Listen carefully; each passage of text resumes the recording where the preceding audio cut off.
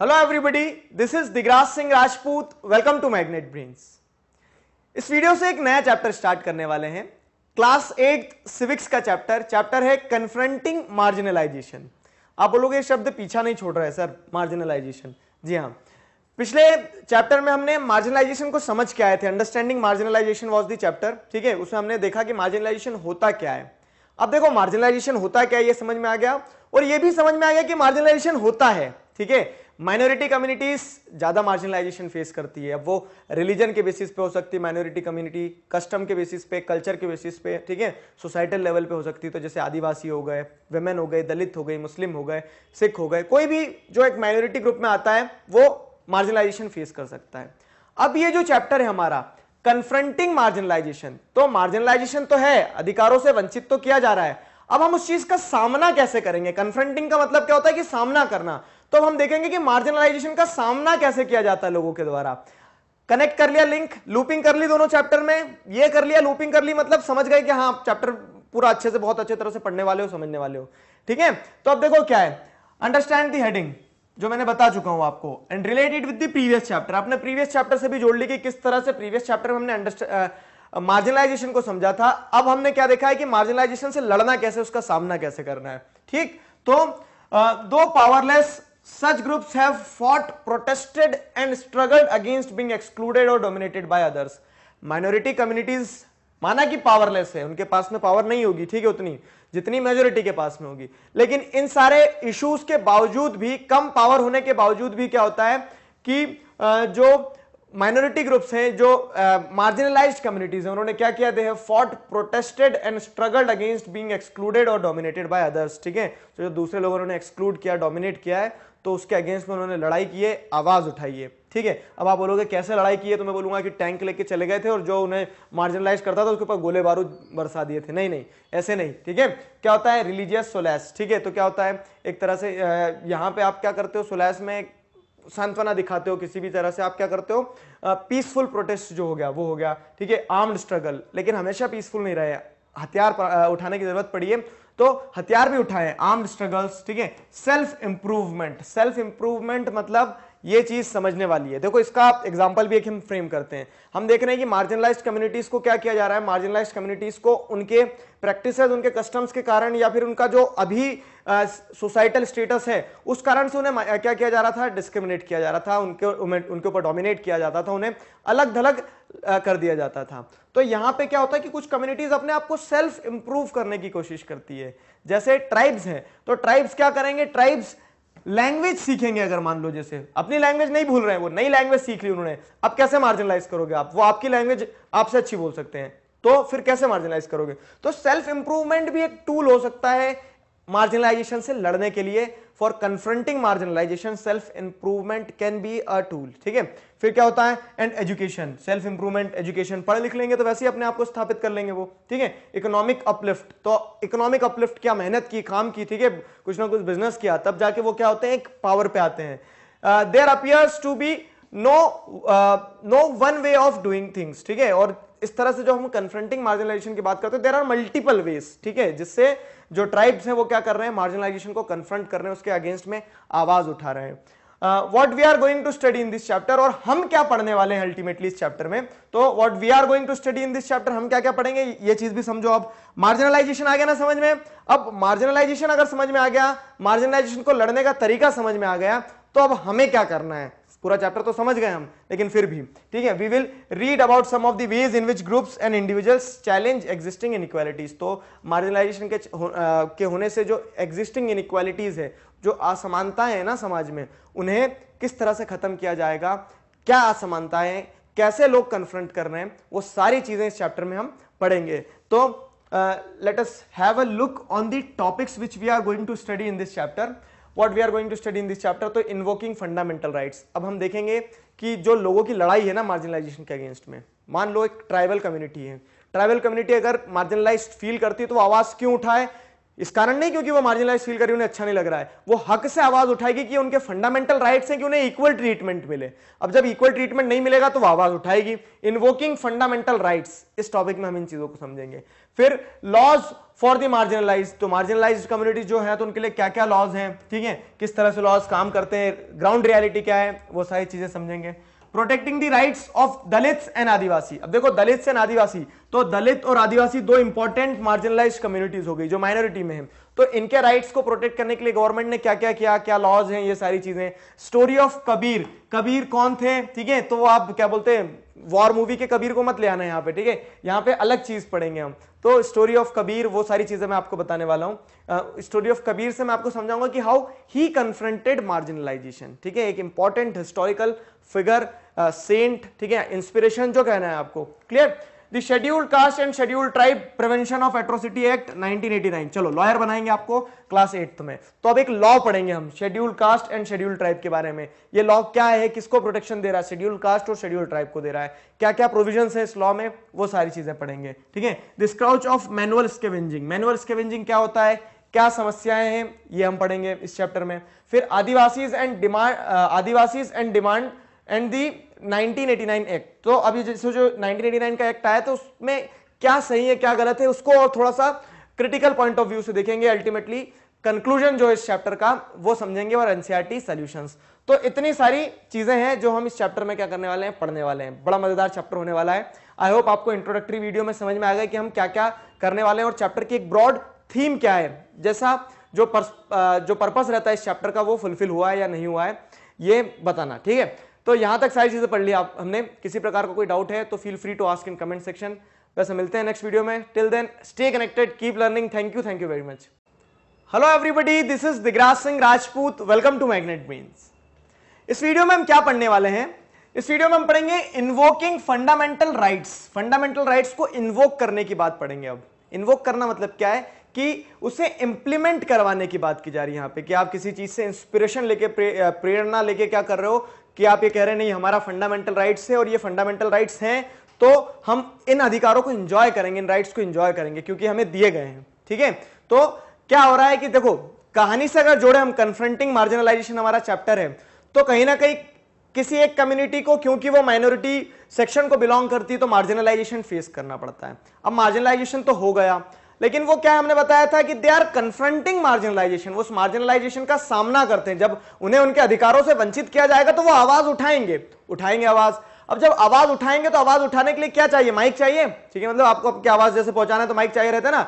तो वैसे ही अब जब वो बोलेंगे कि नहीं, हमारे साथ गलत नहीं होना चाहिए, हमें हमारे अधिकारों से अलग नहीं कर सकते हो आप तो बोलने के लिए वो बेस किस चीज़ का लेंगे? किस ऐसा बोलते हैं, किस बिना पे आप ऐसा बोल सकते हो कि हाँ ये आपके अधिकार हैं, आपको आपको कोई डिस्क्रिमिनेट ना करे। तो वो बोलेंगे कि जब फंडामेंटल राइट्स हर इंडिविजुअल के लिए इक्वल हैं तो क्यों हम मार्जिनलाइजेशन फेस करें? आए ना समझ में? तो इन्वोकिंग फंडामेंटल राइट्स क्या है? तो फंडामेंटल राइट्स क्या हो जाता है? कंधा बन जाता है। फंडामेंटल राइट्स के ऊपर बंदूक रखी जाती है और बात की जाती है कि मार्जिनलाइजेशन नहीं होना चाहिए, ठीक है? तो फंडामेंटल राइट्स एक बेस बनता है, जिस बेसिस पे मार्जिनलाइज कम्युनिटी बोल सकती है क्या? कि हमारे फंडामेंटल राइट्स वॉलेट हो रहे हैं मार्जिनलाइजेशन के कारण और इस कारण से मार्जिनलाइजेशन सही नहीं है।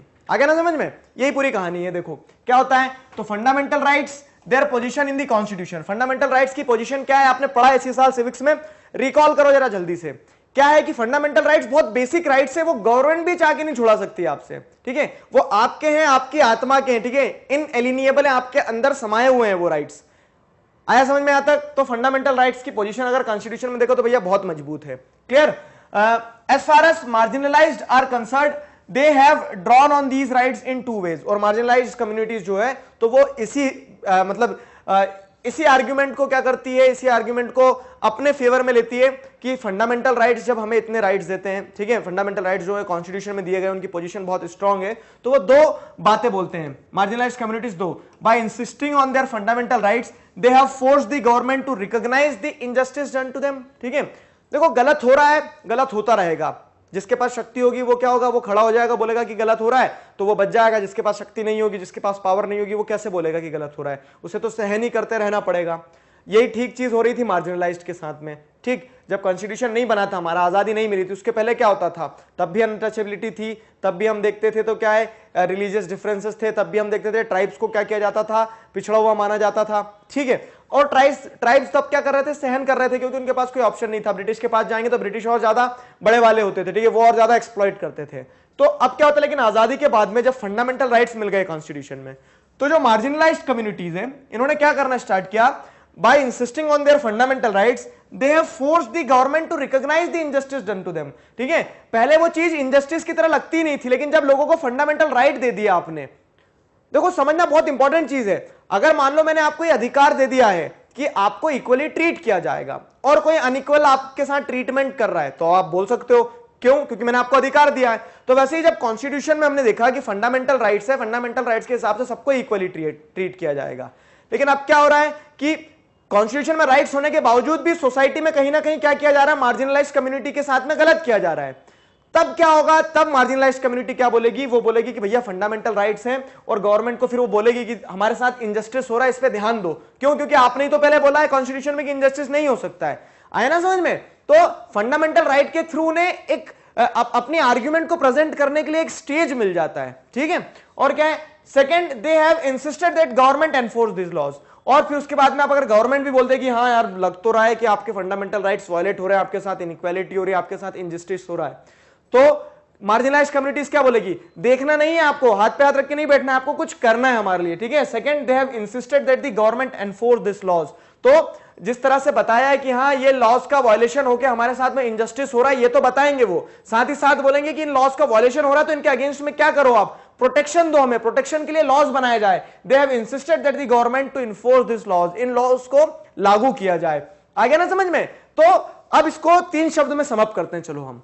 फंडामेंटल राइट्स मार्जिनलाइजेशन और किस तरह से इन्वोक करके आप मतलब फंडामेंटल राइट्स पे काम करते हुए कम कर सकते हो मार्जिनलाइजेशन को। तीन चीज़ें हैं बस, ठीक है? आपको फंडामेंटल राइट्स दिए गए आपके साथ अगर मार्जिनलाइजेशन हो रहा है तो you can use those fundamental rights for invoking your basic rights ठीक है? जो आपकी बेसिक लाइवलीहुड है, उसको आप क्या करवा सकते हो? ले सकते हो, आपके अगेंस्ट में जो इंजस्टिस हो रहा है, उससे आप क्या कर सकते हो? चैलेंज कर सकते हो। क्लियर ये देख लो। अब आगे क्या है? The struggles of the marginalised have influence the government to frame new laws in keeping with the spirit of fundamental rights अब जो मैंने आपको बताया कि जब लोग बात करने लगे कि हमारे साथ गलत हुआ और गलत हुआ तो इस गलत को सही करने के लिए आपको लॉज बनाना होगा। गवर्नमेंट से बोल दिया। तो अब गवर्नमेंट ने इन चीज़ों को ध्यान में रखते हुए क्या करना स्टार्ट किया? गवर्नमेंट ने इन चीज़ों को ध्यान में रखते हुए लॉज बनाना चालू किए, ठीक है? तो जब लोगों ने प्रोटेस्ट किया होगा ना जैसे ये जब उन्होंने इंसिस्ट किया होगा कि नहीं नहीं, आप तो लॉ बनाओ तो गवर्नमेंट भी प्रेशर में आई होगी तो मार्जिनलाइज कम्युनिटीज के इन्फ्लुएंस में आके government had framed new laws frame new laws in keeping with the spirit of fundamental rights ठीक है? फंडामेंटल राइट्स की बातों को ध्यान में रखते हुए लॉज बनाए होंगे, जैसे एग्जांपल देखें हम तो एग्जांपल में आर्टिकल 17 आर्टिकल 17 आपका कॉन्स्टिट्यूशन का क्या बोलता है? अनटचेबिलिटी को अबॉलिश करता है। अनटचेबिलिटी को अबॉलिश कर दिया, ये आपका फंडामेंटल राइट है। अब मान लो कोई दलित है, किसी दलित के साथ में वो ट्रीट अनजस्ट ट्रीटमेंट हो रहा है, उसे मार्जिनलाइज कैसे फील करवाया जा रहा है कि उसे गाँव के किसी कॉमन वेल में से कॉमन जो तालाब रहता है कुआ जो रहता है तो उसमें से पानी नहीं निकालने दिया जा रहा है। तो वो अपने आप को मार्जिनलाइज फील कर रहा है अब वो जाएगा गवर्नमेंट के पास। बोलेगा क्यों? क्योंकि मेरा फंडामेंटल राइट है आर्टिकल 17 के हिसाब से कि अनटचेबिलिटी शुड बी अबॉलिश्ड और ये मेरे साथ अनजस्ट ट्रीटमेंट कर रहे हैं, मुझे अनटचेबल की तरह ट्रीट कर रहे हैं। आगे ना समझ में? तो इस तरह से क्या हो रहा है? अब देखो अब ये आर्टिकल 17 फंडामेंटल राइट मार्जिनलाइजेशन हुआ, कुएँ पे पानी नहीं देने दिया। क्या किया है? उस इंसान ने सीधे अपने फंडामेंटल राइट को अपने कंधे पे बिठा के लेकर और बोला, देखो भैया, इसका वॉयलेशन हुआ है। क्या करना चाहिए? लॉज वॉलेट हुए पनिश करो उन लोगों को। आया ना समझ में? तो ऐसे क्या हो रहा है कि इन्वोकिंग फंडामेंटल राइट्स का टॉपिक बहुत अच्छी तरह से अब क्लियर होना चाहिए आपको। आगे देखो क्या है। रिलेटेड विद आर्टिकल 15 अब आर्टिकल 15 क्या बोलता है? इसी चीज़ से जोड़ो। आर्टिकल 15 कॉन्स्टिट्यूशन का ये बोलता है that no citizen of India shall be discriminated against on the basis of religion race caste sex place of birth तो तीन शब्द आ गए। रिलीजन रेस कास्ट सेक्स ठीक है तो आप अनटचेबल्स के साथ में अगर मार्जिनलाइजेशन हो रहा है दलित्स के साथ में तो वो बोल देंगे कि हमारा आर्टिकल 15 वॉलेट हो रहा है। मुस्लिम्स के साथ अगर हो रहा है सिख के साथ में हो रहा है क्रिश्चियन के साथ में हो रहा है तो बोल देंगे कि हमारा आर्टिकल 15 वॉलेट हो रहा है। क्यों? क्योंकि रिलीजन के हिसाब से क्या होना चाहिए? डिस्क्रिमिनेशन नहीं होना चाहिए। आर्टिकल फिफ्टीन में कहा गया है और जब आप हमें मार्जिनलाइज फील करवाओगे तो आप क्या कर रहे हो? हमारे साथ डिस्क्रिमिनेशन कर रहे हो, ठीक है? तो आर्टिकल 15 यहाँ पे भी वायलेट हो रहा है। आर्टिकल 15 यहाँ पे भी वायलेट हो रहा है। विमेन के साथ अगर किसी तरह का मार्जिनलाइजेशन होता है तो विमेन भी आवाज़ उठा सकती है, ठीक है? They are pushing us to the margin which is not fair ठीक है? Our fundamental right is being violated आया ना समझ में? तो ये पूरी कहानी है। किस तरह से फंडामेंटल राइट आपके लिए बहुत मददगार साबित हो सकते हैं, वो बताया मैंने आपको। आगे देखो तो therefore using the provision in the constitution में प्रोविज़न दी और फंडामेंटल राइट के तो क्या किया जाता है? दलित्स कैन इन्वोक और ड्रॉ ऑन फंडामेंटल राइट्स और राइट्स ठीक है? In situations where they feel that they have been treated badly by some individual or community or even by the government, ठीक है? तो इन शॉर्ट अगर कहें तो ये मार्जिनलाइजेशन का पार्ट हो गया, ठीक है?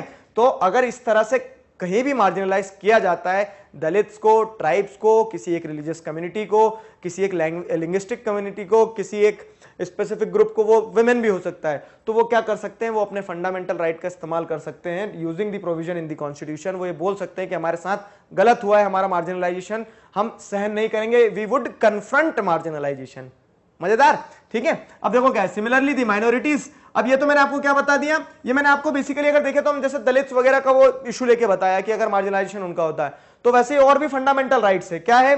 तो एक फंडामेंटल राइट ये भी है कि जो रिलीजियस माइनॉरिटीज हैं, उनको अधिकार है कि अपना एजुकेशनल इंस्टीट्यूशंस वगैरह चला सके। ये हमारा फंडामेंटल राइट है। ठीक है? जितनी भी रिलीजियस माइनॉरिटीज है। तो देखो क्या होता है। Similarly similarly the minorities have been drawn on fundamental rights given in our constitution ठीक है? Right to freedom of religion and cultural and educational rights ये आपका फंडामेंटल राइट right है। ठीक है? तो आप जब भी देखते हो क्या कि uh, मदरसे वगैरह जो रहते हैं तो वो खोलने की चलाने की परमिशन दी जाती है गवर्नमेंट के द्वारा। ठीक है? फंड्स तक दिए जाते हैं। तो ये क्यों दिए जाते हैं? क्योंकि माइनॉरिटीज को अपना रिलीजियस और कल्चरल वैल्यूज़ जो है, जो अपना एजुकेशनल सिस्टम है एजुकेशनल राइट्स हैं, उन्हें प्रोटेक्ट करने की आज़ादी है। अब क्या होता है कि कोई अगर उन्हें मार्जिनलाइज करता है तो अपने इस राइट का इस्तेमाल कर सकता है उसके अगेंस्ट में जाने के लिए। दूसरी चीज़ गवर्नमेंट से सपोर्ट लेने के लिए भी, ठीक है? तो constitution tries to ensure cultural justice to such groups तो वो कोई सा भी रिलीजियस माइनॉरिटी हो बीट मुस्लिम, सिख, ईसाई, ठीक है? कोई भी हो तो क्या होगा कि हर रिलीजियस माइनॉरिटी के कल को कल्चरल जस्टिस इंश्योर करने के लिए कि मतलब उसे सांस्कृतिक रूप से न्याय मिल जाए, ठीक है? कल्चरल जस्टिस क्या है? कि आप किसी के कल्चरल और एजुकेशनल राइट्स को प्रमोट करने के लिए उसे अपना एजुकेशनल इंस्टीट्यूट खोलने दे रहे हैं, जहाँ पे वो अपना कल्चर के बारे में पढ़ा सके तो गवर्नमेंट सपोर्ट करेगी, ठीक है? अगर उसे लगता है कि वो मार्जिनलाइज फील कर रहा है, कोई इसके अगेंस्ट में जा रहा है तो गवर्नमेंट से प्रोटेक्शन मांगेगा। क्यों? क्योंकि बोलेगा, ये मेरा फंडामेंटल राइट है। तो आगे ना समझ में कि फंडामेंटल राइट जो है, वो बहुत इंपॉर्टेंट रोल प्ले करते हैं, जब भी बात होती है किस चीज़ की, जब भी बात होती है, आप अगर अपना जो मार्जिनलाइजेशन जो हो रहा है तो उसके अगेंस्ट में स्ट्रगल लॉन्च करना चाह रहे हैं या फिर उस मार्जिनलाइजेशन को कन्फ्रंट करना चाह रहे हैं। क्लियर है? एक बार समअप करते हैं। छोटे से लेवल पे देखो क्या है। तो फंडामेंटल राइट्स की पोजीशन बहुत मज़बूत होती है। फंडामेंटल राइट्स हैं, तभी लोग बोल सकते हैं हमारे साथ इनजस्टिस हुआ है। और उस इनजस्टिस के अगेंस्ट में क्या चाहिए हमें? आवाज़ मतलब प्रोटेक्शन दो। गवर्नमेंट से बोल सकते हैं। और इसी हिसाब से क्या होता है कि गवर्नमेंट प्रोटेक्ट करेगी। तो हमने समय समय पर देखा कि आर्टिकल सेवनटीन ठीक है आर्टिकल फिफ्टीन उसके बाद में जो कल्चरल और एजुकेशनल राइट्स हैं हमारे तो ये सारे अधिकार जो है इन अधिकारों का इस्तेमाल करके माइनॉरिटीज वो लैंग्वेज के बेसिस पे हो सकती है, ठीक है? सोसाइटल माइनॉरिटी हो सकती है, जैसे दलित हो गए, आदिवासी हो गए तो इन सारे लोगों को प्रोटेक्शन मिलता है और अपना जो मार्जिनलाइजेशन वो सफ़र कर रहे हैं, उसके अगेंस्ट में आवाज़ उठा सकते हैं कन्फ्रंट कर सकते हैं, ठीक है? क्लियर तो ये सारा सब कुछ पढ़ा हमने इस टॉपिक में। आई होप चीज़ें समझ में आई है, किसी प्रकार के डाउट है तो feel free to ask in comment section till then stay connected keep learning thank you thank you very much hello everybody this is Digraj Singh Rajput welcome to magnet brains इस video में हम क्या पढ़ने वाले हैं?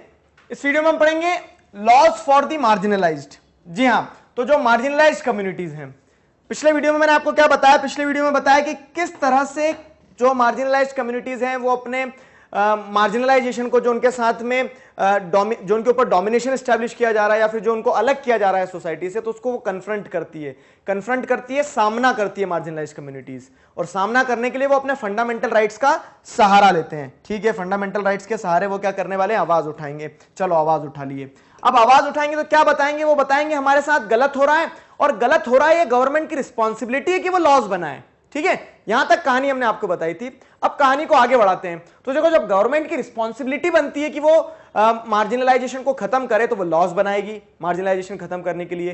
तो अब marginalisation किसका हो रहा था? मार्जिनलाइज कम्युनिटीज का। ठीक है अलग अलग जो कम्युनिटीज थी। तो हम कहेंगे क्या कि laws for the marginalised marginalisation को खत्म करने के लिए जब गवर्नमेंट लॉज बनाएगी तो वो laws laws for the marginalised कहलाएँगे। Simple ठीक है? अब देखो क्या है। तो government make laws to protect citizens देखो गवर्नमेंट की रिस्पॉन्स गवर्नमेंट जो भी कानून लाती है तो गवर्नमेंट कानून क्यों लाती है? क्योंकि वो सारे लोगों को बचाना चाहती है, उनको प्रोटेक्ट करके रखना चाहती है, कहीं ना कहीं उनके आसानी के लिए लॉज बनाए जाते हैं। मानते हो उस चीज़ को? तो गवर्नमेंट ने तो क्या किया? लॉज बना दिए। Government make laws to protect citizens ठीक?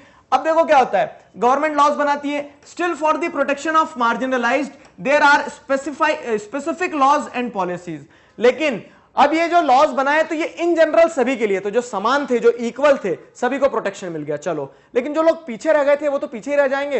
अब मान लो आपके सारे दोस्त जा रहे हैं साथ में आप सब सा, सारे दोस्त एक साथ चल सकते हैं एक स्पीड से तो वो सब तो आगे लेकिन एक दोस्त धीरे धीरे चलता था बेचारा बहुत मोटा था ठीक है? तो अब क्या है वो तो पीछे रह गए ना उसे लाना पड़ेगा तो ट्रॉली करके बिठा के लाओगे कि नहीं अब? तो उस तरह से क्या है कि still for the protection of marginalised there are specific laws and policies ठीक है? तो मार्जिनलाइज सेक्शन क्योंकि वो पीछे रह गया या फिर उसे अलग किया गया सोसाइटी से तो उन लोगों के अपलिफ्टमेंट के लिए स्पेशल पॉलिसीज़ स्पेसिफिक पॉलिसीज़ बनाएगी गवर्नमेंट तो अगर आपको ध्यान हो तो गवर्नमेंट क्या करती है? गवर्नमेंट कमिटीज बनाती है। एक कमिटी बनाई थी सचर कमिटी जो पिछले चैप्टर में पढ़ी थी हमने। आया याद? चलो, याद आ गया गर्दन हिला दिया आपने उधर से। तो अब मुझे कमेंट सेक्शन में आप नाम बताएँगे कि was the chairman of Sachar committee ठीक है? हिंट देता हूँ सचर नाम था उनका सचर था मतलब नाम में।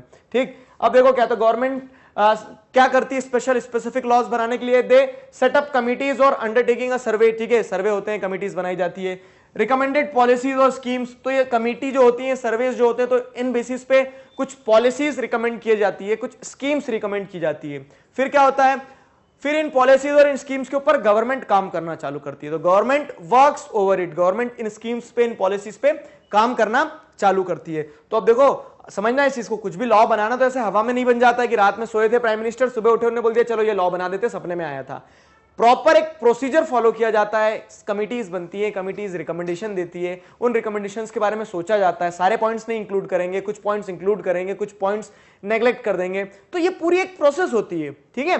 अब आप सोच सकते हो why do the laws for the marginalise are made बनाए क्यों जाते हैं मार्जिनलाइज लोगों के लिए? तो देखो for promoting social justice social justice क्या होता है? कि ये सोसाइटी है, ठीक, अब ये सोसाइटी में सारे लोग इक्वल नहीं होते हैं ना? कुछ छोटे भी होते हैं, कुछ बड़े भी होते हैं, कुछ उनसे भी छोटे होते हैं। तो सारे लोग एक लेवल पे आ जाए। एक लेवल पे आ जाए तो इन लोगों को ऊपर उठाने के लिए क्या करना होगा? इन लोगों को ऊपर उठाने के लिए आपको स्पेशल पॉलिसीज़ बनाना होगी, ठीक है? तो ताकि क्या हो, ताकि आप सोशल जस्टिस सामाजिक न्याय जिसे कहते हैं कि सोसाइटी में इक्वलिटी आ सके, वो प्रमोट करने के लिए आपको लॉज बनाना पड़ेंगे।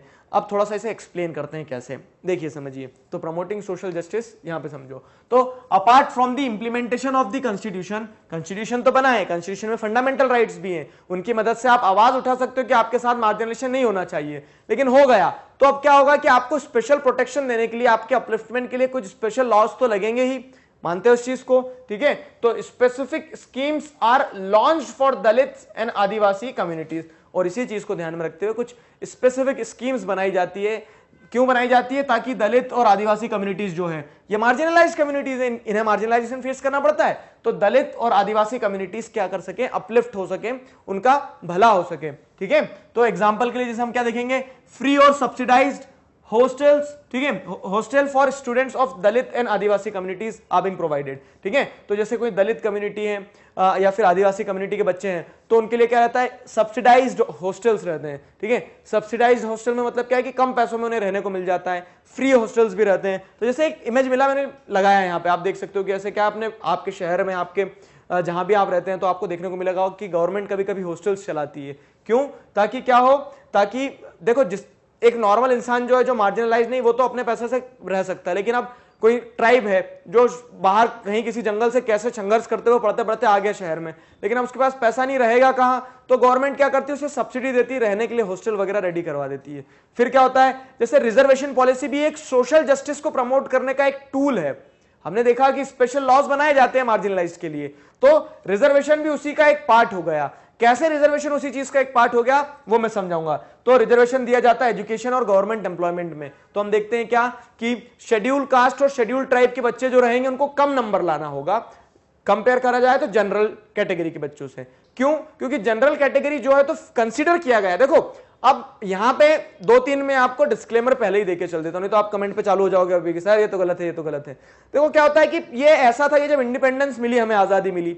तब उस समय पे ऐसा देखा गया कि क्या है जनरल कैटेगरी के जो लोग हैं, जो सो कॉल्ड अपर सोसाइटी है हमारी क्लास के, जो अपर कास्ट के लोग हैं तो उन लोगों के पास में फैसिलिटीज़ थी। लेकिन शेड्यूल कास्ट शेड्यूल ट्राइब ये कुछ ऐसे लोग थे, ठीक है, ये सेक्शंस ऐसे थे जो मार्जिनलाइजेशन फेस कर रहे थे और इनके पास में फैसिलिटीज़ नहीं थी। तो अब क्या हो गया, वही वाली बात में, कि कुछ लोग तो आगे निकल गए जो इक्वल थे, लेकिन जो नहीं इक्वल थे अनइक्वल थे, वो पीछे रह गए तो अब उन्हें पीछे से आगे लाना है तो आपको कुछ एक्स्ट्रा बेनिफिट्स तो देना पड़ेंगे ना उन्हें?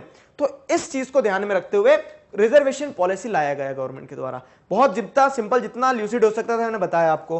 तो अब देखो, इसमें आर्ग्यूमेंट्स है बहुत सारी। कुछ लोग बोलते हैं कि तलवार खोल लेते हैं कि रिजर्वेशन गलत है। ठीक है? तो जरा रुको, सोचो, समझो, गलत है तो किस कंटेक्स में वो भी समझो। मैंने आपको बताया, आज़ादी के समय क्या सिचुएशन थी? फिर क्या होता है कि रिजर्वेशन का बेनिफिट मिलता है शेड्यूल कास्ट शेड्यूल ट्राइब के लोगों को। तो उनका धीरे धीरे अपलिफ्टमेंट होता है। ठीक है? तो बहुत सारे शेड्यूल कास्ट शेड्यूल ट्राइब जैसे आज के समय में जो इंसान क्या कर रहा है जॉब कर रहा है। जैसे कि एग्ज़ाम्पल देते हैं हम आपको। ठीक है? आज के समय में जो इंसान तीस साल, पैंतीस साल का है। उससे ये पूछना कि जब वो पैदा हुआ था, तब उसकी सोसाइटी की मतलब तब उसके फैमिली की या फिर कह सकते तब उसकी कम्युनिटी की क्या कंडीशन थी? ठीक है, तब वो उतना ग्रो नहीं कर पाए थे। आज लेकिन क्योंकि ये बेनिफिट्स लेते हुए रिजर्वेशन के वो ग्रो कर गए तो आज अगर उनके बच्चों को फिर से बेनिफिट मिल जाता है तो ये गलत है। ठीक है, ये ऐसा लगता है कि यार मतलब अब तो आप लेवल प्लेइंग ग्राउंड पे आ गए ना, आप वो पीछे से उठा के आपको बराबर पे ले आए। तो अब आपको उंगली पकड़ देना, जो उंगली पकड़ा के चला रहे थे ना, वो उंगली छोड़ देना चाहिए रिजर्वेशन वाली, ठीक है? तो वो आर्ग्यूमेंट बिल्कुल आपकी वैलिड है, क्योंकि आप आज के कंटेक्स में बात कर रहे हो। लेकिन जब रिजर्वेशन डाला गया था तो उसके पीछे यार एक चीज़ बताओ कॉन्स्टिट्यूशन कॉन्स्टिट्यूशन मेकर्स जो थे तो वो तुमसे तो समझदार थे, मुझसे भी समझदार थे, ठीक है? तो उन्होंने जो सोच के डाला रिजर्वेशन वो एक एक नोबल कॉज था, ठीक है? उन्होंने सही तरह से सोचा कि पीछे जो रह गए, उन्हें आगे लाना होगा। क्लियर है? लेकिन आज के कंटेक्स्ट में क्या है? उसका पूरा रंग बदल गया रिजर्वेशन का। उसे पॉलिटिकल कलरिंग कर दिए। कोई भी पॉलिटिकल पार्टी अपना वोट बैंक होना नहीं चाहेगी तो उसके बारे में बात नहीं करते हैं। किसी पिटी आर्ग्यूमेंट चले आ रही है। जब तक आपको सही तरीके से चीज़ें पता नहीं हो, तब तक बोलना नहीं चाहिए। ठीक है? चलो, अब देखो क्या है। तो ये आर्ग्यूमेंट है रिजर्वेशन के ऊपर आपको ये ध्यान रखना है कि गवर्नमेंट इस तरह से स्पेशल स्कीम्स वगैरह लॉन्च करती है। क्यों लॉन्च करती है? ताकि क्या हो, ताकि सोशल जस्टिस को प्रमोट किया जा सके। अब अगर आपको ये जानना है कि how does the reservation policy work तो वो समझा देते हैं। ठीक है?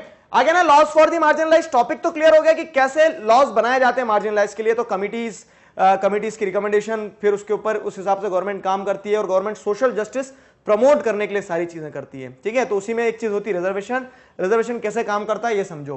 How does the reservation policy works clear तो government across India have their own list of schedule caste और दलित शेड्यूल ट्राइब्स या फिर जो ट्राइबल कम्युनिटीज होते हैं backward and most backward caste तो गवर्नमेंट के पास में लिस्ट है कि भैया ये ये ये ये लोग क्या है?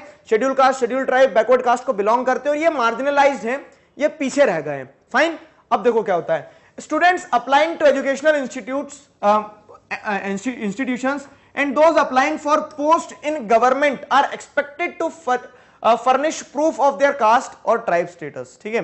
तो अब यहाँ पे क्या है कि गवर्नमेंट ने तो रिकॉग्नाइज कर लिया। अब आप बोलोगे, मैं किस कैटेगरी में आता हूँ? तो आपको पता है वो। और आपको पता है, लेकिन गवर्नमेंट को आप कैसे बताओगे? तो आपको अपना कास्ट सर्टिफिकेट दिखाना पड़ेगा। आपको अपना प्रूफ देना पड़ेगा कि ये प्रूफ है, भैया, मैं इस कैटेगरी को बिलोंग करता हूँ, जिस कैटेगरी को गवर्नमेंट मार्जिनलाइज बोलती है।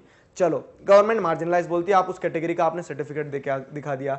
If a particular Dalit caste or certain tribe is on the government list, then the candidate from that caste or tribe can avail the benefits of reservation, ठीक है? और अगर कोई उस स्पेसिफिक कास्ट को belong करता है तो वो क्या कर सकता है? रिजर्वेशन के बेनिफिट्स ले सकता है। रिजर्वेशन क्या है? देखो, मान लो किसी एक गवर्नमेंट इंस्टीट्यूट में सौ बच्चों की जगह है, ठीक है? सौ बच्चों की जगह है तो अब सौ बच्चों में क्या होगा? आपको पता है कि जनरल कैटेगरी के लोग जो हैं तो वो क्या है? नंबर में ज़्यादा है, ठीक है? और नंबर में ज़्यादा होने के साथ साथ क्या है, वो कंपिटेटिव है कंपिटेटिव इन द सेंस क्या है कि वो मतलब जो प्रिज्यूम करके चले हम, वो पुरानी बात जब कॉन्स्टिट्यूशन बना था उस हिसाब से तो उनके पास फैसिलिटीज़ है, वो आराम से क्या कर सकते हैं स्कूल यहाँ पे आ सकते हैं फ़ीस दे सकते हैं, पढ़ सकते हैं। लेकिन क्या होगा, लेकिन शेड्यूल कास्ट और शेड्यूल ट्राइब के बच्चे नहीं आ पाएँगे, ठीक है? तो क्या कर दिया गया, ऐसा कर दिया गया कि सौ में से 20 सीट्स 30 सीट्स ये क्या कर दी रिज़र्व कर दी, ठीक है? बीस या तीस सीट्स रिज़र्व कर दी। मतलब बोल दिया बीस से तीस सीट पे कौन रहेंगे? इन सीट्स पे जनरल कैटेगरी का इंसान नहीं आएगा। जिसके लिए रिज़र्व करिए। शेड्यूल कास्ट के लिए करिए तो शेड्यूल कास्ट शेड्यूल ट्राइब के लिए करिए तो शेड्यूल ट्राइब बाकी दोनों के लिए की जाती है।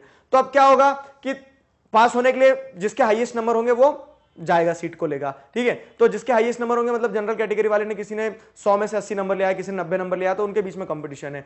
अब ये तो शेड्यूल कास्ट और शेड्यूल ट्राइब के लिए है। तो शेड्यूल कास्ट में जो सबसे ज़्यादा नंबर लाएगा तो पहली सीट उसको मिल गई। फिर शेड्यूल कास्ट के ही लोगों में से जो सबसे सेकंड नंबर पे सबसे ज़्यादा नंबर लाएगा तो सेकंड सीट उसको मिल गई है। तो क्या होता है कि इन 20 30 सीटों में कंपटीशन क्या हो गया? आपने कम कर दिया ना ये रिज़र्व कर दिया आपने बोल दिया कि इन पे शेड्यूल कास्ट या शेड्यूल ट्राइब का ही इंसान आएगा। तो उस तरह से क्या है कि ये रिजर्वेशन आपने प्रोवाइड कर दिया। कैटेगरीज को आइडेंटिफाई किया लोगों ने अपना आ, मतलब प्रूफ दिया कि हाँ हम इस कैटेगरी को बिलोंग करते हैं और वो फिर क्या कर सकता है रिजर्वेशन के बेनिफिट्स को एंजॉय कर सकता है। For admission to college government defines a set of cut off marks ठीक है? ये कट ऑफ़ मार्क्स क्या होती है? तो जैसे ये सीट है मतलब सौ सीट थी मैंने बताया आपको तो 100 सीट में से 20 सीट अगर मान लो शेड्यूल कास्ट के लिए रिज़र्व करिए तो वो शेड्यूल कास्ट को क्या करना होगा कि ये 20 सीट्स पे आ, अपनी पोजीशन को इंश्योर करने के लिए उन्हें कट ऑफ़ लिस्ट दे दी जाती है कि तुम्हें कम से कम इतने नंबर लाना होगा। कम से कम इतने क्यों? क्योंकि जो पहला नंबर पर आया ना शेड्यूल कास्ट की कैटेगरी में उसने इतने नंबर सिक्योर करें। तो ये कट ऑफ़ हो गया है। आपको यहाँ से नंबर लाना है इस तरह से। तो क्या किया जाता है? कट ऑफ़ लिस्ट की मिनिमम मार्क्स का कोटा दे दिया जाता है कि इतने नंबर से जिसके ऊपर आएँगे तो 20 बच्चे अगर इस इस नंबर से ऊपर लाए तो उनको 20 सीट दे दी हमने। ठीक है? जो कि क्या होती है? जो कि, जो जनरल लेवल होता है, ठीक है? जो नॉर्मल इंसान जो किसी कैटेगरी को बिलोंग नहीं करता है, उससे कम होता है यूजुअली तो इस कारण से क्या लोगों को बड़ा गुस्सा आता है कि रिजर्वेशन गलत है। ठीक है? आज के कंटेक्स्ट में मैं मानता हूँ आपकी बात गलत हो सकता है क्योंकि जो लोग एबल हैं वो भी उसका बेनिफिट अगर एंजॉय करेंगे तो गलत है। ठीक है? लेकिन जो कॉन्स्टिट्यूशन मेकर्स ने जो सोच के डाला था तो उनकी सोच बहुत आ, साफ़ थी उस बारे पे। क्लियर है? Those who have done reasonably reasonably well and secured marks above the cut off ठीक है? जो कट ऑफ़ नंबर से ऊपर लाया है ना तो उसको क्या होगा? Cut off points are entitled to benefits of reservation यहाँ पे भी ऐसा है कि कट ऑफ़ जो रखा है तो जनरल के लिए वो कट ऑफ़ ज़्यादा होता है शेड्यूल कास्ट के लिए कम होता है शेड्यूल ट्राइब के लिए और कम होता है और उस हिसाब से क्या करना होता है? इंसान को उस मार्क्स से ऊपर लाना होता है. एग्ज़ाम में जाने के लिए भी आ, मतलब एग्ज़ाम क्लियर करके नौकरी पाने के लिए भी और एग्ज़ाम क्लियर करके किसी कॉलेज में एडमिशन लेने के लिए भी एजुकेशनल इंस्टीट्यूट्स में नंबर लगाने के लिए भी अपना, ठीक है? तो ये इस तरह से रिजर्वेशन काम करता है। अगर समझ में रिजर्वेशन क्या है तो it is one of the laws for the marginalise जो मार्जिनलाइज के अपलिफ्टमेंट के लिए लॉज बनाए गए, उनमें एक लॉ रिजर्वेशन भी है। आई चीज़ें समझ में? तो ये सारा सब कुछ हमने डिस्कस किया इस वीडियो लेक्चर में। किसी प्रकार का डाउट है तो feel free to ask in comment section till then stay connected keep learning thank you thank you very much hello everybody this is Digraj Singh Rajput welcome to Magnet Brains इस video में हम क्या पढ़ने वाले हैं? इस video में हम पढ़ेंगे protecting the rights of Dalits and Adivasi अभी तक हमने क्या देखा चैप्टर में? अभी तक हमने देखा कि किस तरह से जो मार्जिनलाइज कम्युनिटीज हैं दलित्स एंड आदिवासी ये मार्जिनलाइज कम्युनिटी को बिलोंग करते हैं। इन्होंने क्या किया? अपने फंडामेंटल राइट्स को इन्वोक करके लॉज बनाने के लिए क्या क्या? गवर्नमेंट को मजबूर किया और गवर्नमेंट ने लॉज बनाए भी। तो हमने अभी तक चैप्टर में देखा कि किस तरह से पॉलिसीज़ बनाई जाती है for the upliftment of marginalise communities मानते हो? मार्जिनलाइज कम्युनिटीज के अपलिफ्टमेंट के लिए लॉज बनाए जाते हैं। ठीक है? साथ ही साथ एक और चीज़ ये भी देखना है आपको कि there are laws that guard against the discrimination and exploitation of marginalise communities marginalise communities का एक्सप्लॉयटेशन होता है डिस्क्रिमिनेशन होता है। यहाँ तो आपने क्या जैसे रिजर्वेशन लाए ताकि आप उसको अपलिफ्ट कर पाओ। नीचे से ऊपर ले जा सको मार्जिनलाइज कम्युनिटीज को। दूसरा क्या है कि मार्जिनलाइज कम्युनिटीज जाने लायक स्थिति में भी बचे। मतलब उनका एक्सप्लॉयटेशन ना हो, उनके साथ डिस्क्रिमिनेशन ना हो। ऐसे लॉज भी बनाए जाएँगे ना। मान लो अगर किसी के साथ क्या किया जा रहा है अनजस्ट ट्रीटमेंट किया जा रहा है, किसी को डिस्क्रिमिनेट किया जा रहा है तो वो लॉज भी बनाना पड़ेंगे। भले के लिए तो बना रहे हो, लेकिन जो बुरा हो रहा है तो उस बुरे को रोकने के लिए भी लॉज बनाना पड़ेंगे। आगे समझ में? तो ये चीज़ थी, आपने डैम बनाया, लेकिन डैम में कहीं अगर क्रैक आ गई तो क्रैक को बंद भी करना पड़ेगा आपको। फाइन ये चीज़ रहती है, ठीक है? अब देखो क्या है तो जब इस तरह के लॉस बनाए जाएँगे तो यहाँ पे एक स्टोरी आएगी आपके सामने। अब क्या करना है, आपको बढ़िया हाथ पैर बांधो अपने, ठीक है? पैर कैसे बांधोगे पता नहीं है। तो हाथ पैर बांधो, बैठो और कहानी सुनो एक अच्छे से, ठीक है? ये जो कहानी बहुत थॉट प्रोवोकिंग है, ठीक है? आपको सोचने पे मजबूर करेगी और आपको एक एक एक एक स्टोरी लाइन समझ में आएगी कि कैसे जो दलित और आदिवासी है, उनके राइट्स को प्रोटेक्ट किया जा सकता है, क्या किया जाना चाहिए और, ठीक है? तो protecting the rights of Dalit and Adivasi, इस चीज़ को हम पढ़ने वाले हैं। स्टोरी ऑफ़ जक मंगलूर ठीक है? अब देखो एक और चीज़ है, यहाँ पे एक जो हमारा हीरो है मूवी में, वो कौन है? उसका नाम है रतनाम, ठीक है? तो रतनाम अपनी मूवी का हीरो है। अब क्या होता है कि रतनाम के गाँव में अपर कास्ट कम्युनिटी के लोग भी रहते हैं लोअर कास्ट कम्युनिटी के लोग भी रहते हैं, और रतनाम एक अनटचेबल कम्युनिटी को बिलोंग करता है, दलित कम्युनिटी को बिलोंग करता है, ठीक है? अब रतनाम जो है तो रतनाम के गाँव में एक एक रिचुअल होता था, ठीक है? जहाँ पे जो उनकी डेटी होती, जो देवता होते हैं गाँव के तो गाँव के देवता की पूजा पाठ होती, सारी चीज़ें होती धूम धड़ाके से सारी चीज़ें की जाती है।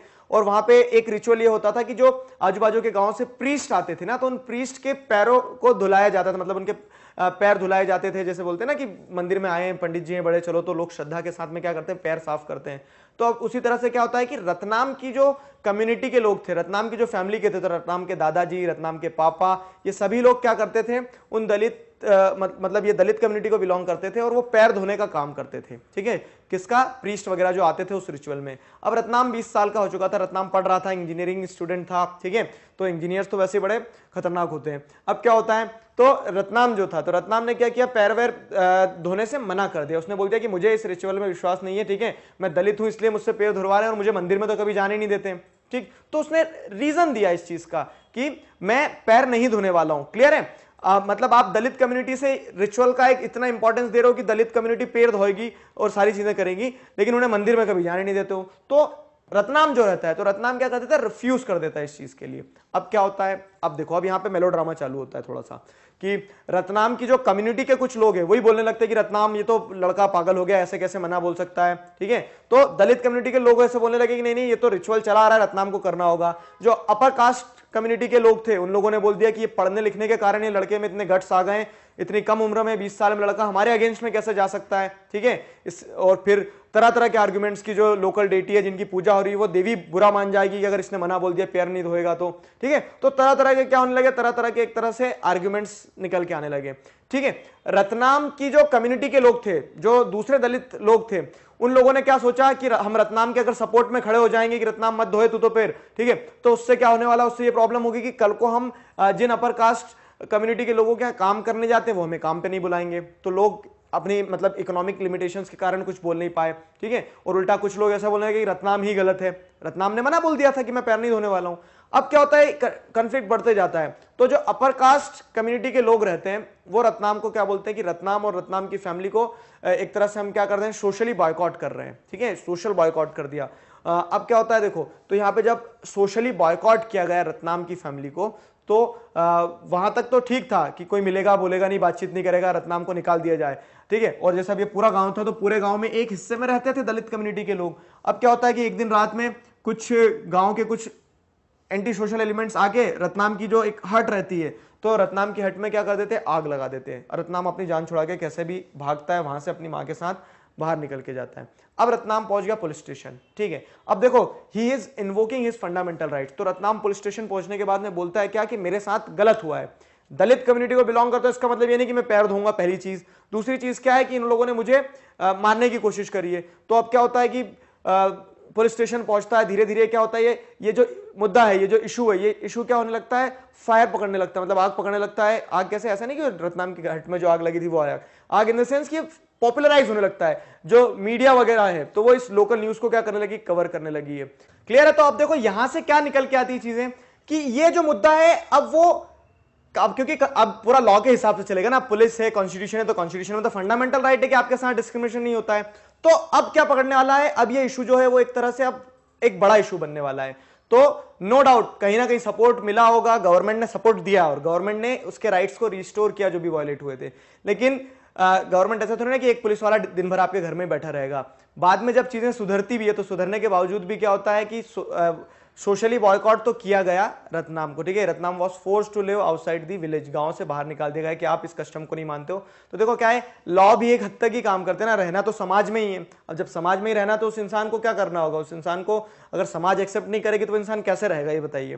तो ये मैंने आपको पूरी कहानी बताई है, जाट मंगलूर में जो हुई थी, ठीक है? अब it explain the incident that how Dalits use protection provided to them by law अब देखो, आपने ये देखा कि रत्नाम जो है तो रतनाम डरा नहीं। क्यों? क्योंकि बाय लॉ से प्रोटेक्शन दिया है ना। There are rights which are protecting the मतलब there are laws which are protecting the rights of Dalit and Adivasi तो रत्नाम पढ़ा लिखा था, उसको समझ में आया कि हाँ यार, मेरे लिए लॉज हैं तो उसने उन लॉज का इस्तेमाल किया। रतनाम, ठीक है filing a case under the schedule caste and schedule tribe prevention of atrocities act 1989 Ratnam police वालों के पास गया तो पुलिस वालों से उसने किस बिहाफ पे बोला होगा कि मेरे साथ गलत हो रहा है? तो उसने आ, मतलब मजबूती से अपनी ये बात रख के आया क्या कि प्रिवेंशन ऑफ़ एट्रोसिटी एक्ट जो है schedule caste and schedule tribe prevention of atrocity act 1989 उस एक्ट के हिसाब से मेरे राइट्स वायलेट हो रहे हैं और यहाँ पे आपकी आपको मेरी मदद करना होगी पुलिस से उसने कहा। और पुलिस भी मदद करेगी क्यों? क्योंकि ये तो प्रोविज़न लॉ में दिया हुआ है ना एक कानून है कि आपके साथ अगर ऐसा गलत हो रहा है आपके साथ डिस्क्रिमिनेशन हो रहा है आप मार्जिनलाइज कम्युनिटी को बिलोंग करते हो और कोई सिर्फ़ कास्ट लैंग्वेज इन सारी बेसिस पे आपके साथ डिस्क्रिमिनेशन करता हो, गलत है, उसे प्रोटेक्शन मिला, ठीक है? नाउ एनालाइज एंड कंक्लूजन ठीक है? अब आपको क्या करना है मतलब स्टोरी को पूरा एनालिसिस निकालना है स्टोरी का। एनालिसिस निकालने के साथ साथ में आपको उसका एक कंक्लूजन देना है प्रॉपर देखो क्या होता है। तो हमारी जो हेडिंग है protecting the rights of Dalit and Adivasi ठीक है? तो अब यहाँ पे क्या हुआ दलित और आदिवासी के राइट्स को प्रोटेक्शन क्यों मिल रहा है? क्योंकि एक डेडिकेटेड लॉ है उस चीज़ के लिए। जो हमने पिछले वीडियो में पढ़ा था लॉस फॉर मार्जिनलाइज तो हमने देखा था कैसे जो मार्जिनलाइज कम्युनिटीज हैं उनके प्रोटेक्शन के लिए लॉस बनाना ज़रूरी है। लॉज नहीं होंगे तो उनका प्रोटेक्शन पॉसिबल नहीं है ना। और वही चीज़ यहाँ पे देखने को मिली लॉ थे तो मतलब एक लॉ है तो उसके चलते रत्नाम ने आवाज़ उठा पाया रत्नाम अपने आ, मतलब कह सकते हैं अपने साथ जो डिस्क्रिमिनेशन हुआ उसके अगेंस्ट में बोल पाया। तो इस सेंस में ये बहुत ज़्यादा ज़रूरी था। और यहाँ पे अगर हम एनालाइज करते हैं इस स्टोरी का एनालिसिस अगर निकालते तो यही है कि लॉ ने कहीं ना कहीं उसको क्या की बहुत मदद दी है। अब क्या है? तो इस लॉ को समझते हैं, ठीक है? इस लॉ को समझेंगे हम, कबीर की स्टोरी से और थोड़ा सा रिलेट करेंगे। तो जो लास्ट के टॉपिक्स हैं, अब चैप्टर के उन्हें उन उन टॉपिक्स की तरफ़ आगे बढ़ते हैं। फाइन यहाँ तक चीज़ें क्लियर हैं। किसी प्रकार के डाउट हैं तो feel free to ask in comment section till then stay connected keep learning thank you thank you very much hello everybody this is Digraj Singh Rajput welcome to Magnet Brains इस video में हम क्या पढ़ने वाले हैं? इस video में हम पढ़ेंगे the schedule caste and schedule tribe prevention of atrocities act 1989 आगे जो है, ठीक है? तो अब देखिए क्या है। यहाँ पे अभी तक हमने जो चैप्टर पढ़ा है, समझा है, लास्ट वीडियो लेक्चर में मैंने आपको बताया था कि किस तरह से जो मार्जिनलाइज कम्युनिटीज हैं, ठीक है? वो जब अपने मार्जिनलाइजेशन को कन्फ्रंट करते हैं तो लॉज उनकी काफ़ी मदद करते हैं। रत्नाम की कहानी से आपने देखा, समझा था कि कैसे रत्नाम ने अपने प्रोटेक्शन के लिए इस लॉ का यूज़ किया था। अब लॉ है क्या? किन बारों में किन चीज़ों के बारे में बात करता है लॉ वो सारी चीज़ें हम आपको बताने वाले हैं। इट वॉज़ फ्रेम्ड इन 1989 इसीलिए उसके आगे 1989 होता है, ठीक है?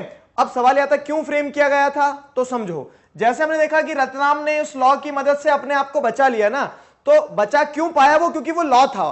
तो वो लॉ की जो डिमांड थी, वो कहीं ना कहीं उन्हीं सिचुएशन उन्हीं सर्कमस्टांसेस में बनी है, जहाँ पे मार्जिनलाइज कम्युनिटीज बहुत कुछ सफ़र कर रही थी।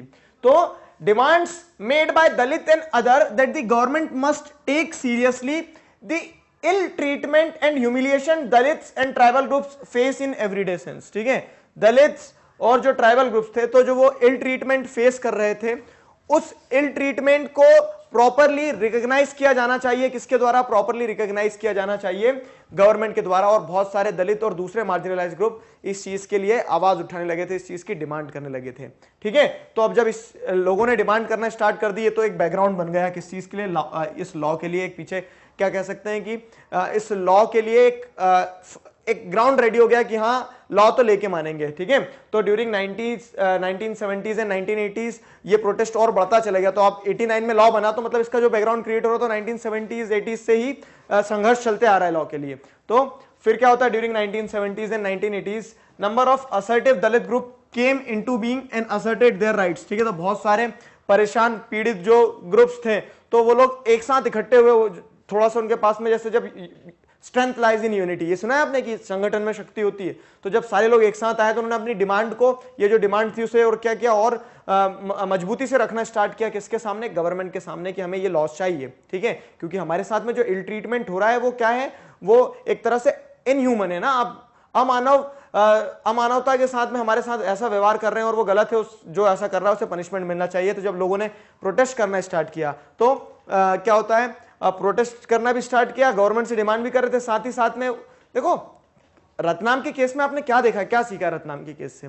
आपने सिंपल सी चीज़ें देखी कि रतनाम के पापा रतनाम के दादा उस चीज़ को परफॉर्म करते हुए आ रहे थे तो रतनाम आ, कोई ऐसा लगा कि वो कर रहे हैं लेकिन मैं नहीं करूँगा। क्यों? क्योंकि रतनाम पढ़ा लिखा थोड़ा सा समझा चीज़ों को ठीक है? अब क्या हो रहा था कि ये जो ग्रुप्स डिमांड करने लगे थे उनके राइट्स के ऐसा इल ट्रीटमेंट हम नहीं सहन करेंगे तो उन्होंने डिमांड करना गवर्नमेंट से स्टार्ट किया, साथ ही साथ में जो चली आ रही थी प्रथाएँ, उन्हें बंद कर दिया। तो they refuse to perform their so called caste duties and insisted of being treated equally तो उन्होंने बोल दिया, हम दलित हैं लोअर कास्ट को बिलोंग करते हैं मार्जिनलाइज ग्रुप को बिलोंग करते हैं अगर तो इसका मतलब ये नहीं कि हमारे साथ में इल ट्रीटमेंट होता ही रहेगा, हमारे साथ में अत्याचार होते ही रहेंगे। उन लोगों ने क्या करना स्टार्ट कर दिया अपोज करना स्टार्ट कर दिया, उन्होंने बोल दिया कि हम हमारी जो सो कॉल्ड कास्ट ड्यूटीज़ है कास्ट ड्यूटीज़ जैसे बोल दिया कि अब एक एग्ज़ाम्पल देते हैं कि हम देखते हैं कि एक ग्रुप को अनटचेबल कंसिडर किया जाता है और जो लेदर वर्कर्स होते हैं तो उनका काम क्या होगा कि अगर किसी भी गाँव में किसी भी एनिमल की डेथ हो जाती है तो उसको स्किन ऑफ़ करना, ठीक है? उसकी छमड़ी निकालना। तो और उससे लेदर बनाना। ये काम उसका रहेगा, एक अनटचेबल का। तो अब क्या होगा? उसने बोल दिया कि मेरी कोई कास्ट ड्यूटी मैंने रिस्पॉन्सिबिलिटी नहीं ली है। अगर मान लो मेरे पास कुछ कमाने को नहीं है तो मैं करूँगा भी, अगर मेरी इच्छा होगी तो। नहीं तो मैं करूँ या ना करूँ, वो जानवर है, वो जानवर की डेथ हुई है, वो अपने हिसाब से डिकम्पोज हो जाएगा इन्वायरमेंट में। ठीक है? मैंने कोई जिम्मा थोड़ी ना लिया है। तो इस तरह से क्या होने लगा कि जो असर्टिव ग्रुप्स थे, उन लोगों ने डिमांड करना स्टार्ट कर दिया और डिमांड के साथ साथ में क्या करना कन्फ्रंट करना, सामना करना स्टार्ट कर दिया किस चीज़ का? उन उन सारी बातों का जहाँ पे वो मार्जिनलाइजेशन फेस करते थे, ठीक है? तो therefore Dalit groups demanded new laws that would list the various sort of violence against Dalit and prescribe stringent punishment for those who indulge in them ठीक है? तो अब दलित ग्रुप क्या करने लगे? ये सारी चीज़ों पे आपको ध्यान देना है कि दलित ग्रुप्स ने ये डिमांड करना स्टार्ट कर दिया कि जो हमारे अगेंस्ट में इस तरह के डिस्क्रिमिनेशन करता उन्हें पनिशमेंट मिले और अपनी कास्ट ड्यूटीज़ को उन्होंने चूल्हे में डाल दिया। बोल दिया कि हम अब परफॉर्म नहीं करेंगे, ठीक है? आपने बंदी नहीं बनाया हमें एक तरह से। फिर क्या होता है? आगे देखो क्या है। तो अब इस एक्ट को पास किया गया। गवर्नमेंट ने भी देख लिया, भैया प्रेशर बढ़ रहा है बहुत ज़्यादा तो गवर्नमेंट ने इस एक्ट को पास किया। अब इस एक्ट के सिग्निफिकेंस क्या है? क्या फ़ायदा रहा? ग्राउंड लेवल पे क्या फ़ायदा रहा? तो the act distinguish several levels of crime देखो प्रोटेक्शन तो दिया ही दिया गवर्नमेंट ने। इस एक्ट के चलते the schedule caste schedule tribe prevention of atrocity act जो है तो इस एक्ट के चलते प्रोटेक्शन तो मिला ही मिला है। प्रोटेक्शन के साथ साथ गवर्नमेंट ने लॉ रिकॉग्नाइज भी किया कि अच्छा ये हो रहा है आपके साथ में। गवर्नमेंट ने इंटेंसिटी ऑफ़ क्राइम को क्या किया? आइडेंटिफाई किया कि ये ये सारी चीज़ें क्राइम के दायरे में आ जाएगी। तो गवर्नमेंट ने क्या क्या? किया मोड ऑफ़ ह्यूमिलिएशन को सबसे पहले आइडेंटिफाई किया। दलित बोल रहे थे कि हमारे साथ क्या होता है? इन ह्यूमन बिहेवियर होता है, ठीक है? हमारा ह्यूमिलिएशन होता है, हमें क्या किया जाता है? प्रताड़ित किया जाता है।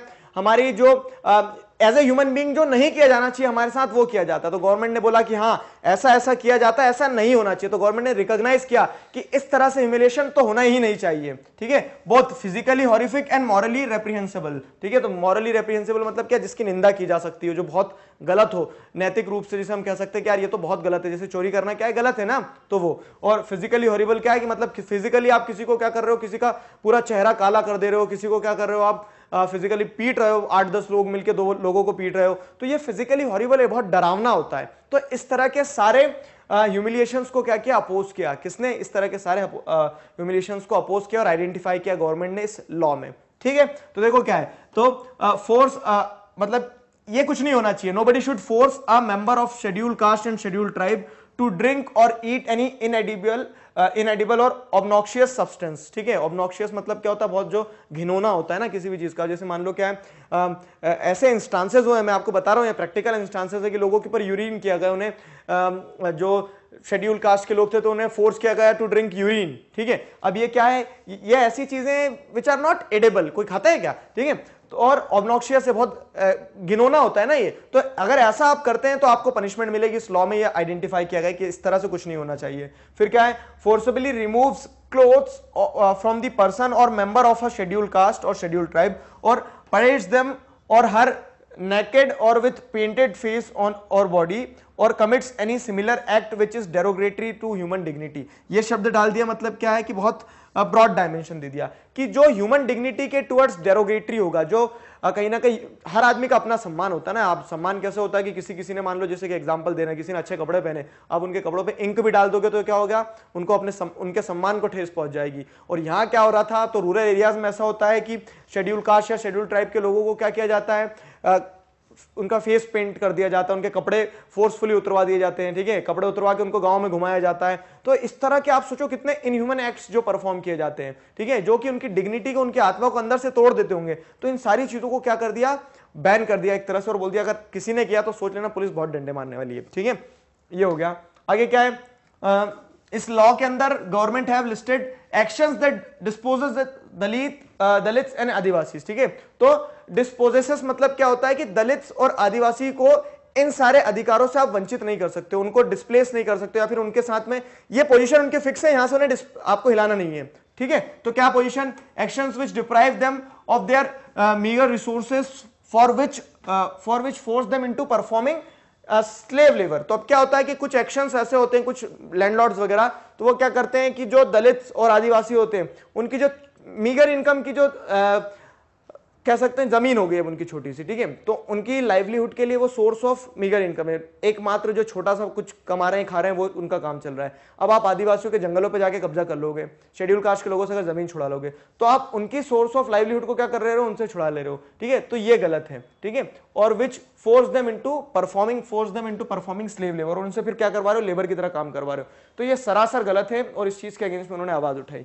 फिर क्या है? The act have the provision to punish those who wrongfully occupies or cultivates any land owned by or allotted to a member of scheduled caste or scheduled tribe or gets the land allotted to him transferred. ठीक है? आप जैसे dispossess मतलब वही कि आप उनको उनकी पोजीशन से नहीं हटा सकते हो। आप किसी दलित के पास में, किसी ट्राइब के पास में अगर ज़मीन है तो आप क्या है? फोर्सफुली उनसे ज़मीन खरीद नहीं सकते हो, बेच नहीं सकते हो। इस तरह का लॉ लॉ रिकॉग्नाइज करता है कि ऐसा कुछ भी नहीं होना चाहिए ठीक है? तो schedule caste schedule tribe prevention of atrocities act जो है तो उसके अंदर एक प्रोविज़न ये भी डाला गया कि आ, देखो मैंने आपको स्टार्टिंग में ही क्लियर कर दिया था कि लॉ प्रोटेक्शन तो देता है। प्रोटेक्शन के साथ साथ में लॉ किस चीज़ के बारे में बात करता है कि ऐसा कुछ भी नहीं होना चाहिए। तो वो ये प्रोविज़न डिस्कस कर रहे हैं हम अभी टॉपिक में। आप पूरा लॉ तो पढ़ा नहीं सकते आपको ठीक है? अभी तो एट्थ क्लास में हो आप। तो आपको पॉइंट्स बताए जा रहे हैं कि ये सारे पॉइंट्स जो हैं ये सारे पॉइंट्स उस लॉ के अंदर है। एक ये भी है कि आप जबरन फोर्सफुली ज़मीन नहीं खरीद सकते हो, ज़मीन नहीं छुड़ा सकते हो, उनको डिस्प्लेस नहीं कर सकते हो वहाँ से।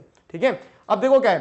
Crime against Dalit and tribal women ये भी रिकॉग्नाइज किया गया इस लॉ के अंदर कि अधिकतर क्या होता है, दलित और ट्राइबल वुमेन के अगेंस्ट में क्राइम होता है। कैसे? तो the act seeks to penalise मतलब ये क्राइम होता है और एक्ट क्या करने वाला? पिनलाइज करने वाला जो लोग ये क्राइम परफॉर्म करेंगे।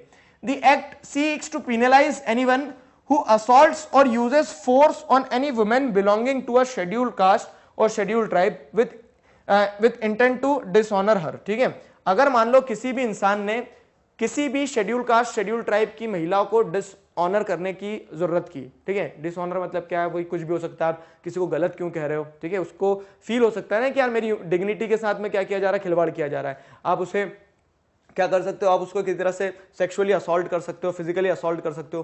तो वो सारी चीज़ों को क्या किया गया है? इस लॉ के अंदर जो इंसान ये करेगा, उसको क्या किया जाएगा? पिनलाइज किया जाएगा। ये सारे प्रोविजंस डाले गए इस लॉ में। आई होप आपको समझ में आया schedule caste and schedule tribes prevention of atrocities act जो है तो इस एक्ट में क्या क्या चीज़ें हैं, किस तरह से काम करती है, वो सारी चीज़ें हमने इस वीडियो लेक्चर में डिस्कस करी है। क्लियर है?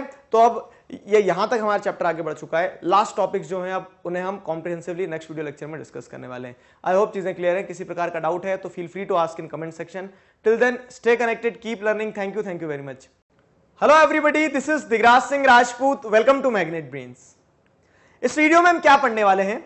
इस वीडियो में हम पढ़ेंगे story of Kabir story of Sant Kabir अब ज़्यादा क्लियर हो गई चीज़ें, ठीक है? कबीर में बहुत सारे थॉट्स आते हैं। वॉर मूवी भी ध्यान आ जाती है।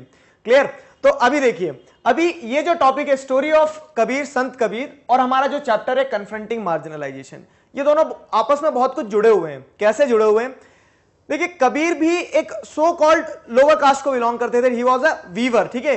बुनने का काम करते थे। तो सोसाइटी में उन्हें क्या कंसीडर किया जाता था कि he belongs to a lower caste ठीक है? अब उन्होंने जन्म कहाँ लिया? तो एक मुस्लिम की फैमिली में लिया, ठीक है? अब मुस्लिम फैमिली में जन्म लेने के बाद में वो इंस्पायर होते हैं किससे? हिंदू भक्ति ट्रेडिशन से बहुत ज़्यादा इंस्पायर होते हैं। उनके जो वर्सेस हैं, कबीर के दोहे सुने होंगे ना आपने? हिंदी की बुक में? तो जो कबीर के दोहे हैं, वो कबीर के दोहे कहाँ देखने को मिलते हैं आपको? गुरु ग्रंथ साहिब में भी देखने को मिल जाएँगे। तो इस तरह से ऐसा नहीं है कि वो किसी एक धर्म से बंधे हुए हैं, ठीक है? वो सारे धर्मों में जुड़े हुए हैं, सारे धर्मों में उन्होंने क्या किया? अपना अपना मतलब अपने हिसाब से हर धर्म को समझा, अपने हिसाब से हर धर्म को समझाया और हर धर्म का इंसान उन्हें अप्रिशिएट करता है, उनके विचारों को फॉलो करता है। क्लियर है? अब आप मार्जिनलाइजेशन वाले चैप्टर में स्पिरिचुअलिटी कहाँ से ले आए? सोच रहे होंगे आप, ठीक है? एकदम से मतलब चैप्टर चल रहा था, ठीक चल रहा था, ठीक चल रहा था, अब ये टॉपिक ऑफ़ द टॉपिक हो गए हम। तो ऑफ़ द टॉपिक कुछ नहीं गया है। सारी चीज़ों को रिलेट करना पड़ेगा आपको। आपको एक बॉक्स में कंटेंट दिया, लेकिन मैं आपको पढ़ाना इसलिए चाह रहा हूँ क्योंकि आप समझो उस परस्पेक्टिव को। कन्फ्रंटिंग मतलब क्या है कि आप सामना कर रहे हो मार्जिनलाइजेशन का। ये खुद एक मार्जिनलाइज कम्युनिटी में रहे, ठीक है? अब जब एक मार्जिनलाइज कम्युनिटी में रहे तो मार्जिनलाइज कम्युनिटी में रहने के कारण क्या होता है? मार्जिनलाइज कम्युनिटी में रहने के कारण इनको तरह तरह का डिस्क्रिमिनेशन सारी चीज़ें फेस करना पड़ी। और इन्होंने उसे फेस किया सफ़र किया, लेकिन उसके साथ साथ में उसे कन्फ्रंट भी किया अपोज भी किया। ठीक है? कैसे अपोज किया? तो वही चीज़ जो कबीर के दोहे हमने आपको बताया ना अभी। तो अब आपका एक होमवर्क है। चलो एक एक कबीर का दोहा सारे लोग याद करेंगे और बताएँगे मुझे कि आपको कौन सा कबीर का दोहा पता है या फिर नहीं पता तो सीखना, ठीक है? तो कबीर के दोहे में उन्होंने बताया कि किस तरह से जो सोसाइटल स्ट्रक्चर है सोसाइटी जो है, उसमें कितनी सारी समस्याएँ कितने सारे प्रॉब्लम हैं। क्लियर है? तो Kabir was a fifteenth century poet and weaver who also belong to, who also belong bhakti tradition bhakti tradition क्या होता है देखो? एक तो क्या होता है, बहुत रिचुअलिस्टिक ट्रेडिशन होता है रिलीजन का एक रिचुअलिस्टिक पार्ट होता है कि ऐसे यज्ञ करो, ऐसे बलि दो, ये करो, वो करो, तब जाके आपके मन के इच्छाएँ सारी पूरी होगी। तो वो क्या हो गया? वो बहुत रिचुअलिस्टिक पार्ट हो गया रिलीजन का। कुछ लोगों ने रिलीजन को जो है तो कुछ लोगों ने रिलीजन को बहुत सिंप्लीफाइड रखा, ठीक है? बहुत सिंप्लीफाइड जैसे इनके गुरु थे रामानंद, ठीक है? तो उन्होंने रिलीजन को बताया, क्या होता है? धर्म क्या होता है? धर्म होता है कि इंसान और भगवान के मन के बीच में कनेक्शन डेवलप होना। दिस इज़ द स्पिरिचुअलिटी ठीक है? यही स्पिरिचुअलिटी भी होती है। आप कर्म कांड करते फिर रहे हैं कि इतने यज्ञ करवा दिए, उतनी पूजन करवा दी, उतनी सामग्री करवा दिए तो वो क्या है? वो बाहरी आडंबर होता है एक तरह से, ठीक है? भारी भारी शब्द लग रहे हैं मतलब वो क्या है? वो सिर्फ़ एक शो ऑफ़ है। अगर देखा जाए भक्ति ट्रेडिशन के हिसाब से तो। भक्ति ट्रेडिशन के लोगों का यह मानना था कि भगवान आपके भीतर है, ठीक है? आपको क्या करना है? अपने मन में झाँक के देखना एक तरह से। तो being free of ritual and priest ये था भक्ति ट्रेडिशन अगर और समझना चाहे तो। तो भक्ति ट्रेडिशन में ये नहीं बोलते थे कि आपको अगर अपनी आत्मा को भगवान की आत्मा तक पहुंचाना है, ठीक है? अगर लॉ लगाना है, एक तरह से कंसंट्रेशन दोनों के बीच में डेवलप करना है तो ज़रूरी नहीं कि उसके लिए बीच में आपको एक प्रीस्ट चाहिए रहेगा। ज़रूरी नहीं कि आपको रिचुअल्स फॉलो करना होगा। मन चंगा तो कटौती में जंगा, गंगा, ठीक है? तो मन चंगा तो कटौती में गंगा मतलब क्या है कि आपका मन साफ़ है तो आप कहीं पे छोटे से तालाब में भी उसे गंगा मान के स्नान कर सकते हो। तो उस तरह की जो सोच रखने वाले लोग होते हैं, वो भक्ति ट्रेडिशन को फॉलो करते हैं। कबीर वॉज़ अ भक्ति ट्रेडिशन सेंट ठीक है? अब क्या होता है? Being free of ritual and priest ये भक्ति ट्रेडिशन मैंने आपको समझा दिया। अब बात करते हैं अगर मार्जिनलाइजेशन की तो इन्होंने मार्जिनलाइजेशन को कैसे कन्फ्रंट किया, ठीक है? तो Kabir attack those who attempted to define individuals on the basis of their religious and caste identities Kabir ने अपने दोहों के थ्रू ठीक है? तो जितने भी अपने दोहे होते थे, ठीक है? तो उन उन दोहे के इस्तेमाल करते हुए कबीर ने एक मैसेज पहुँचाया सोसाइटी को, क्या? कि ये रिलीजियस और कास्ट आइडेंटिटीज के बेसिस पे आप सोसाइटी को देखते हो, वो गलत है, ठीक है? सिंपल चीज़ उन्होंने बताई कि आदमी क्या है? पैदा होता है, अगर मान लो कोई पैदा हुआ है किसी एक स्पेसिफिक कास्ट में तो उसे वो कास्ट आइडेंटिटी मिल जाती है। अगर मान लो किसी दूसरी कास्ट में पैदा होता हो तो उसे दूसरी कास्ट आइडेंटिटी मिल जाती है। Same goes with the religion religion के साथ भी सेम चीज़ रहती है। तो आप ये जो टैग लगा देते हो, फिर डिस्क्रिमिनेट करते हो, वो गलत है। उन्होंने अपोज किया इस चीज़ को। ठीक है? His poetry brings out the powerful idea of equality of all human beings and their labour ठीक है? अब देखो एंड देयर लेबर मतलब क्या? इन्होंने हर इंसान को, चाहे वो किसी भी कास्ट किसी भी रिलीजन का हो, साथ ही साथ वो किसी भी काम को परफॉर्म करता हो। किसी भी काम को मतलब चाहे वो जूते बनाता हो, चाहे वो मटके बनाता हो। तो जो आ, उस समय में सोसाइटी में सो कॉल्ड लोअर कास्ट के काम होते थे जैसे वीविंग ये खुद वीविंग करते थे कपड़ा बुनते थे ठीक है? तो उस समय पे जो भी लेबर को क्या माना जाता था? एक छोटा काम माना जाता था ना उन हर काम को इन्होंने इक्वली क्या क्या? रिस्पेक्ट दी ट्रीट की। इक्वलिटी के साथ में ट्रीट किया। His poetry brings out the powerful idea of the equality equality के आइडिया पे ज़्यादा एम्फोसाइज किया उन्होंने ठीक है? He writes about valuing the work of the ordinary potter ठीक है? मटके बनाने वाले का। The weaver and the women carrying the water pot सभी को इक्वली उन्होंने क्या किया? ट्रीट किया। सभी का काम क्या है? एक समान होता है। Labour of that in his poetry in his poetry becomes the basis of understanding the entire universe ठीक है? तो अब उनकी जो पोइट्री है तो वो इन्हीं चीज़ों की आजू बाजू रिवॉल्व करती। ना इन्होंने कभी संस्कृत सीखी, ना इन्होंने कोई ग्रंथ पढ़ा। इन्होंने अपनी समझ से सोसाइटी को एक मैसेज दिया। देखो, बहुत सिंप्लीफाइड लाइफ रही है इनकी, ठीक है? वीवर की तरह रहते थे, गाते थे, लोगों को सुनाते थे, लोगों को ऐसा लगता था कि यार ये तो क्या है, ये बोलते हैं ना, परम सत्य वाली बात हो गई यूनिवर्सल ट्रुथ टाइप से चीज़ हो गई। ये जो बोल रहे हैं, इसके लिए मतलब पूरी तरह से सही बोलते थे कबीर, ठीक है? और जो उस समय पे आडंबर चल रहा था, जो एक कह सकते हैं सुपरफिशियल वर्ल्ड चला आ रहा था कि ये रिचुअल्स वो प्रैक्टिस ये सारी चीज़ें, उसके अगेंस्ट में बोलना चालू किया इन्होंने। और जो मार्जिनलाइज कम्युनिटीज थी तो मार्जिनलाइज कम्युनिटीज को इन्होंने सपोर्ट किया, ठीक है? ये जो इनके आर्ग्यूमेंट्स मैंने बताया कि सबको इक्वलिटी से देखना है सारी चीज़ें। तो अगर चैप्टर हम पढ़ते हैं कन्फ्रंटिंग मार्जिनलाइजेशन तो ये आज से नहीं है। मार्जिनलाइज कम्युनिटी कबीर के टाइम से क्या करते आ रही है? अपने जो राइट्स का वॉल्यूशन हो रहा है, उसके अगेंस्ट में कन्फ्रंट करते आ रही है। ये मैसेज देना चाह रहा है इस वीडियो लेक्चर में। ठीक है? कौन? दिगराज सर ठीक है? अब देखो क्या है। तो even today Kabir poetry is sung and appreciated by Dalits marginalised groups and those critical of social hierarchies in Uttar Pradesh Rajasthan Punjab Madhya Pradesh Bengal Bihar and Gujarat ठीक है?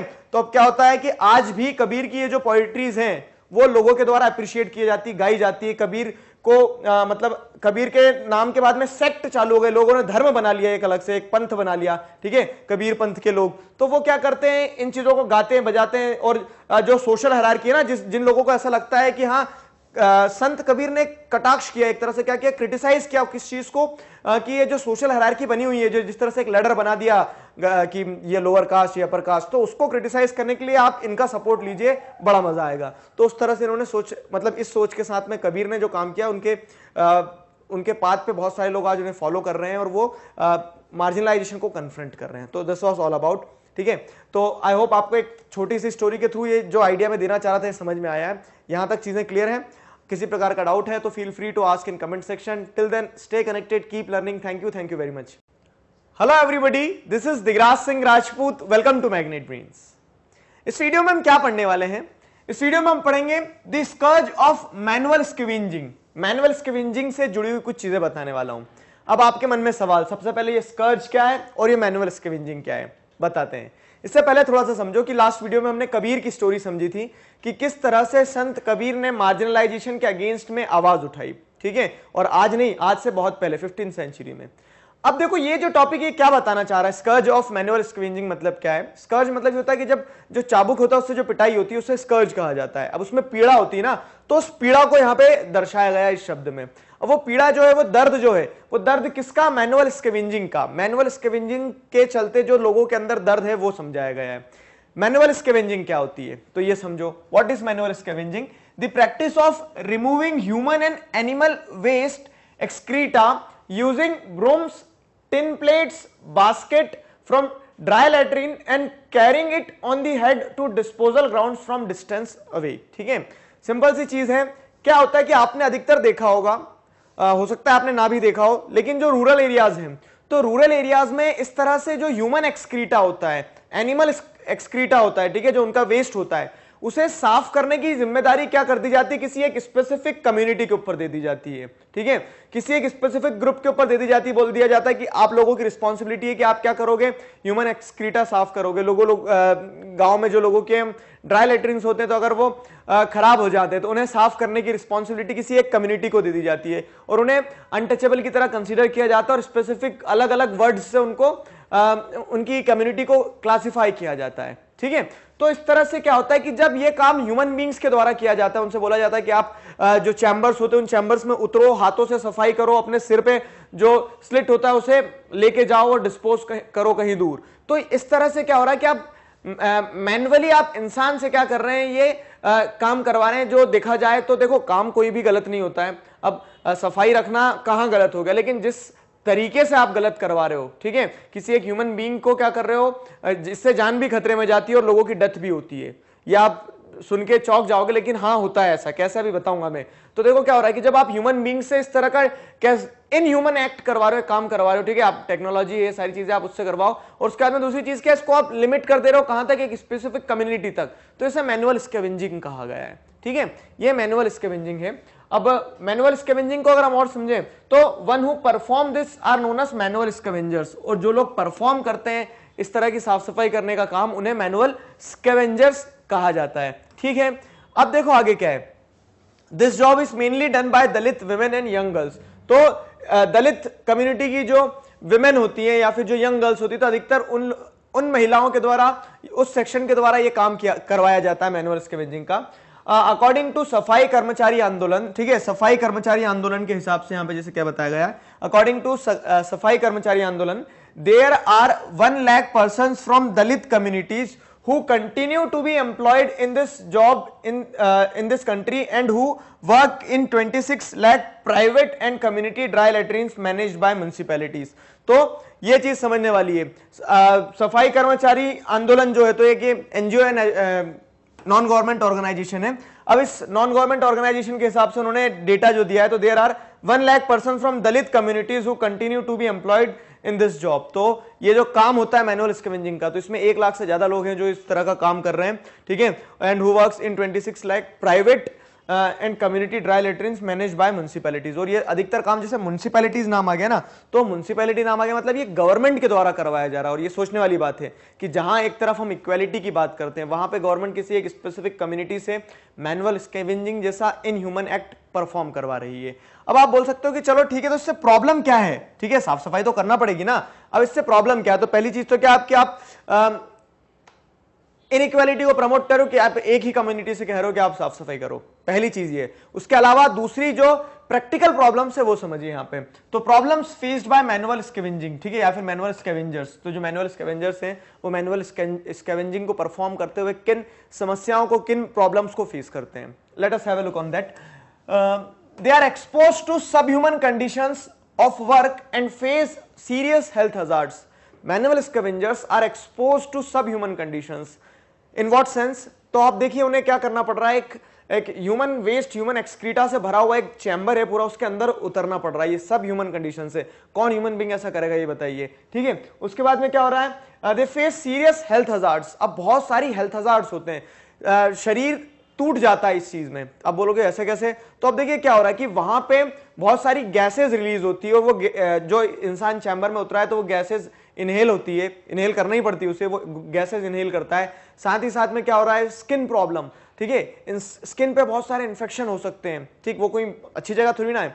अब देखो क्या होता है तो they are constantly expose to infection that affect their eyes skin respiratory and gastrointestinal system ठीक है तो अब वो इनहेल होने के बाद में पूरा जो इंटरनल सिस्टम है डाइजेशन सिस्टम है, वो खराब होगा। कहीं ना कहीं आँखों में अगर पानी लगता है वेस्ट लगता है तो उससे आँखें खराब हो सकती है। तो एक तरह से आप सोचिए कि ये हेल्थ हजार्ड एक सीरियस हेल्थ हजार्ड का कॉज हो सकता है मैनुअल स्केवेंजर्स में। और हो रहा है, ये रिपोर्ट्स है। जो मैंने आपको अभी स्टार्टिंग में कहा था कि काफ़ी सारे लोगों की डेथ होती है तो ये प्रॉब्लम क्या कह सकते एक्यूट एक बड़े लेवल पे इतनी बढ़ जाती है प्रॉब्लम की कभी कभी लोगों को जो मैनुअल स्केवेंजर्स होते हैं, उन्हें अपनी जान भी गंवाना पड़ती है। They get very low wages for the work they perform those working in urban municipalities earn 200 per day and those working privately are paid much less ठीक है?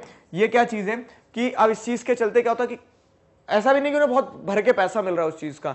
रिस्क बहुत ज़्यादा है रिस्क बहुत ज़्यादा होने के साथ साथ में क्या है कि वो बहुत अंडर पेड होते हैं इसके चलते, ठीक है? उन्हें जो पैसा मिल रहा है तो पैसा बहुत कम दिया जाता है। They get very low wages for the work they perform those working in urban municipalities earn 200 per day and those working privately are paid much less और जो प्राइवेटली काम कर रहे हैं, उन्हें और कम दिया जाता है। पैसा they often live in separate settlements on the outskirt of the village and are denied access to temple public water facilities etcetera अब क्या हो रहा है? देखो, ये तो पर्सनल लेवल पे उन्हें प्रॉब्लम फेस करना पड़ रही है। इसी के साथ साथ क्या होता है? कम्युनिटी लेवल पे ऐसे लोगों को क्या कर दिया जाता है? उनके लिए एक अलग लोकेलिटी बना दी गई कि हाँ वो मेन जो सोसाइटी उनके बीच में नहीं रहेंगे, उन्हें बाहर कर दिया जाता है मेन सोसाइटी से। ठीक है? मेन सोसाइटी से बाहर कर दिया जाता है। They often live in separate settlements on outskirt of the village and are denied access to temple public water और पब्लिक फैसिलिटीज़ जितनी भी होती है। तो उन्हें मंदिरों में नहीं जाने दिया जाएगा पब्लिक वाटर फैसिलिटी क्यों? क्योंकि लोग उन्हें क्या मानने लगे? अनटचेबल मानने लगे क्यों? क्योंकि वो काम जो कर, कर रहे हैं तो उसे सो कॉल्ड डेरोगेटरी वर्क कहा जा रहा है। बहुत ऐसा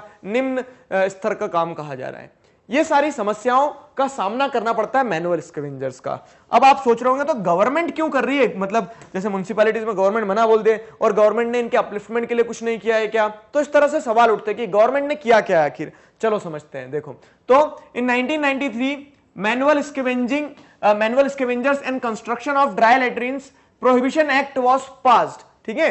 तो अब यहाँ क्या होता है कि एक एक्ट पास होता है जिसके थ्रू क्या कर दिया जाता है कि इस तरह के जो काम हो रहे हैं, उसमें कुछ मॉडिफिकेशन किए जाएँगे और उसे प्रोहिबिट किया जाएगा। मतलब अब बंद करना होगा। मैनुअल स्केवेंजर्स जो है, जो लोग अपने हाथों से, अपने सिर पे इस तरह से जो साफ़ सफ़ाई कर रहे हैं चैम्बर्स में उतर के, वो बंद किया जाएगा। देखो, ये तो प्रैक्टिकल प्रॉब्लम्स हैं कि टॉयलेट्स जो हैं तो आज क्या होने वाला है कि वो चैम्बर अगर जैसे खराब होता है फिलअप हो जाता है तो उसको खाली करना ये सारी चीज़ें तो करना पड़ेगी आपको। तो उसको मैकेनाइज कर दिया गया आप जैसे आप देखते हैं बहुत सारे म्यूनसिपैलिटीज के टैंकर होते हैं पाइप लगाओ काम खत्म हो जाता है। तो गवर्नमेंट ने वो उस एंड पे ए, मतलब चेंजेस लाए हैं। साथ ही साथ में जो मैनुअल स्केवेंजर्स मैनुअल स्केवेंजिंग को प्रमोट किया जाता था ठीक है?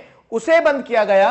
और साथ ही साथ में जो ड्राई लेटरिन होती थी जिनमें एक तरह से ऑप्शन क्या रहता था? ऑप्शन यही रहता था कि आपको उतरना ही पड़ेगा उसमें। तो उन्हें क्या, उनका कंस्ट्रक्शन जो है उसे बंद किया गया। ये प्रोविज़न एक्ट लाया गया कब? 1993 में। तो this law prohibits the employment of manual scavengers as well as construction of dry latrines तो ये काम नहीं होगा। बंद कर देंगे वाला काम। ठीक है?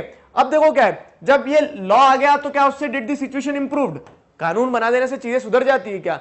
नहीं। जब तक सोसाइटी में सोसाइटल लेवल पे चेंज नहीं आएगा, कैसे चीज़ें सुधरेगी? तो क्या होता है कि कानून था, लेकिन लोग चोरी छुपे क्या है? लोगों को as an manual scavenger as a manual scavenger employ कर रहे थे। ठीक है? तो अब क्या होता है? इन 2003 Safai Karmachari Andolan and 13 other organisations and individual filed a PIL in Supreme Court. PIL civics में पढ़ के आए हो? मतलब क्या होता है? ये आप कमेंट सेक्शन में बताओगे इसका फुल फॉर्म पीआईएल का। ठीक है? तो क्या होता है? एक अर्जी डाली गई कहाँ पे? सुप्रीम कोर्ट में सफ़ाई कर्मचारी और दूसरे आ, कुछ एनजीओ वगैरह के द्वारा। और उस हिसाब से उन्होंने कंप्लेन की। They complain that manual scavenging still existed and it continued in the government undertakings like the railways जैसे क्या हो रहा? बोल रहे कि मैनुअल स्केवेंजिंग आज भी चल रहा है। और जो गवर्नमेंट अंडरटेकिंग है गवर्नमेंट अंडरटेकिंग मतलब क्या है? कि गवर्नमेंट के जो डिपार्टमेंट्स है, जैसे रेलवेज तो रेलवेज में भी आज भी क्या करवाया जा रहा है? हाथ से लोगों से सफ़ाई करवाई जा रही है ठीक है? सफ़ाई भी कहाँ करवाई जा रही है? तो जैसे आ, जो ह्यूमन एक्सक्रीटा ह्यूमन वेस्ट होता है उसे साफ़ करवाया जा रहा है। तो इस चीज़ के अगेंस्ट में क्या होता है? बहुत सारे एनजीओ सफ़ाई कर्मचारी आंदोलन जिसने पहले भी प्रेशर क्रिएट किया था इशू को हाईलाइट किया था कि इतने सारे मैनुअल स्केवेंजर्स हैं देश में। तो इन लोगों ने क्या किया? फिर से प्रेशराइज किया गवर्नमेंट को कि गवर्नमेंट को कुछ करना चाहिए लॉ लाना चाहिए चीज़ों में बदलाव होना चाहिए ठीक है? तो अब कोर्ट के सामने जब ये बात गई तो कोर्ट ने क्या किया? अब कोर्ट ने court directed every department ministry of the union government and state government to verify the facts within six month ठीक है Court ने बोला, अगर ऐसा आज भी चल रहा है कि रेलवे भी एम्प्लॉय कर रहा है और आज भी स्केवेंजर्स हैं लॉ आने के बावजूद भी तो मिनिस्ट्री ने मतलब कोर्ट ने स्ट्रिक्ट गाइडलाइंस दे दी सारी मिनिस्ट्री को, सारे डिपार्टमेंट्स को कि आप वेरीफाई करो छह महीने के अंदर अंदर क्या ये एग्जिस्ट करता है, ठीक है? If manual scavenging was found to exist then the government department has to actively take up time bound program for the liberation and rehabilitation. ये शब्द बहुत इंपॉर्टेंट है। लिबरेशन एंड rehabilitation ठीक है? अब क्या होता है कि अब सीधे साफ़ गाइडलाइंस दे दिए किसने? सीधे साफ़ गाइडलाइंस दे दिए कोर्ट ने कि गवर्नमेंट जो है गवर्नमेंट डिपार्टमेंट जो है, पता करे कि हाँ ये ये ये चीज़ें हैं। और अगर आज भी एग्जिस्ट करती है चीज़ें, और अगर आज भी चीज़ें एग्जिस्ट करती है तो आपको क्या करना होगा? गवर्नमेंट को सबसे पहले ये जो मैनुअल स्क्विंजिंग की प्रैक्टिस है, इसे टाइम बाउंड अप्रोच के साथ में जल्दी से खत्म करना होगी। खत्म करने के बाद बाद में क्या करना होगा? जो मैनुअल स्केवेंजर्स हैं, उन्हें लिबरेट करवाना होगा और रिहेबिलिएट करवाना होगा। लिबरेट और रिहेबिलिटेशन का मतलब क्या हो गया? लिबरेशन मतलब उन्हें आज़ाद करवाओ कि कोई उन्हें वापस ऐसे मैनुअल स्केवेंजर बना के काम ना करवाए उनसे। और रिहेबिलिटेशन भी एक इंपॉर्टेंट पार्ट है। अब जैसे देखो क्या हो रहा है, एक इंसान था जो मैनुअल स्केवेंजिंग परफॉर्म करता था। आज उसने मैनुअल स्केवेंजिंग परफॉर्म करना बंद कर दिए। लेकिन सोसाइटी तो उसे आज भी मैनुअल स्केवेंजर की तरह देखेगी। तो आप उस इंसान को वापस से सोसाइटी में आ, मतलब उसको वापस से सोसाइटी में इक्वल पोजीशन पे लाना है। तो क्या होता था अधिकतर जैसे आ, कहीं किसी एक पार्ट के लोगों को सभी लोगों को क्या किया जाता है डिस्प्लेस करवा दिया जाता था या फिर डिस्प्लेसमेंट सही शब्द नहीं रहेगा रिहेबिलिएट करवाया जाता था कि साउथ इंडिया में अगर कोई मैनुअल स्केवेंजर्स की कम्युनिटी थी उनको ला के कहीं नॉर्थ इंडिया में सेटल करवाती गवर्नमेंट ताकि वो उनकी सोसाइटी चेंज हो तो लोग उनको फिर इक्वल रिस्पेक्ट के साथ ट्रीट करें। ठीक है? उनके गाँव में अगर उनके वहीं पर रहेंगे तो लोग क्या है उन्हें वही माइंडसेट के साथ देखेंगे, नहीं नहीं, ये तो मैनुअल स्कैवेंजर्स हुआ करते थे। ठीक है, वही डिस्क्रिमिनेशन वही अनटचेबिलिटी सारी चीज़ें रहेगी। Clear the prohibition of employment as manual scavengers and their rehabilitation act came into force on December six December 2013 ठीक है, अब क्या होता है कि ये जो रिहेबिलिटेशन की बात की ना, सुप्रीम कोर्ट ने तो उस चीज़ का एक लॉ बनाया गया है कि हाँ अब रोकना ही है मैनुअल स्केवेंजर्स को काम करने से और उसके बाद में उनका रिहेबिलिटेशन करना इस, ये गवर्नमेंट की रिस्पॉन्सिबिलिटी होगी। गवर्नमेंट फंड देती है प्रॉपर ध्यान देती है। ये लॉ कब फोर्स में आया? सिक्स दिसंबर 2013 को। So this was all about the scourge of manual scavenging जो मैंने आपको इस वीडियो लेक्चर में बताया। आई होप ये इन्फॉर्मेशन रिलेवेंट थी बॉक्स की डिटेल थी, लेकिन पढ़ना, जानना, समझना ज़रूरी था। इसके पीछे का सोसाइटल कंसेप्ट क्या था, वो समझ में आना चाहिए कि सोसाइटी में इस चीज़ को कैसे कंसिडर किया जाता था। क्यों रिहेबिलिटेशन ज़रूरी है? क्यों सारी चीज़ें ज़रूरी है? क्लियर है?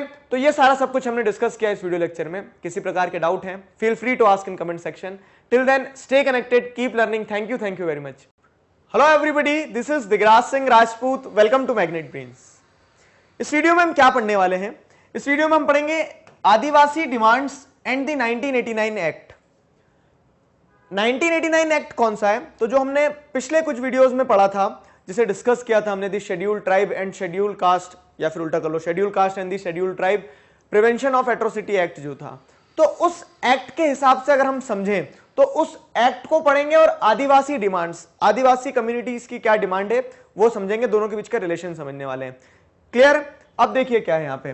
तो Adivasi are often unwilling to move from their land and are forcibly displaced Adivasi को क्या किया जाता है? वो आदिवासी की इच्छा नहीं होती कि वो अपनी ज़मीन छोड़ के कहीं और जाए, अपना जंगल छोड़ के कहीं और जाए। ठीक है? उन्हें क्या किया जाता है? They are force to do that कभी कभी उन्हें मजबूर किया जाता है कि अपनी ज़मीन बेचें वो। ठीक है? ना चाहते हुए भी बेचना पड़ता है। अब बेच देते तो उन्हें जंगल को छोड़ के बाहर जाना पड़ता है। तो इस तरह से क्या होता है? आदिवासी इसके साथ में डिस्क्रिमिनेशन होता है।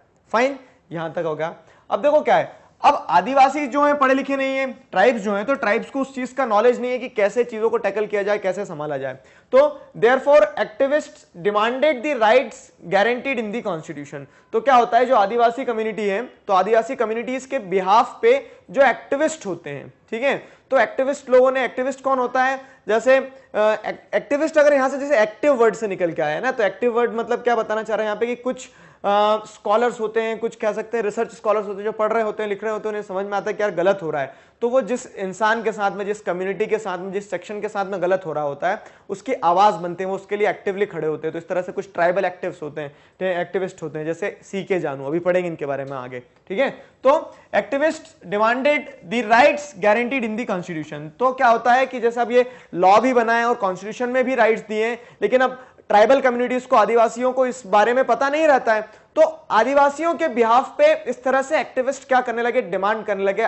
ट्राइबल्स के लिए राइट्स की ट्राइबल्स के साथ गलत हो रहा है। फाइन देखो क्या होता है। तो the land belonging to the tribal people cannot be sold to और bought to non tribal people ये उनका राइट right हो गया।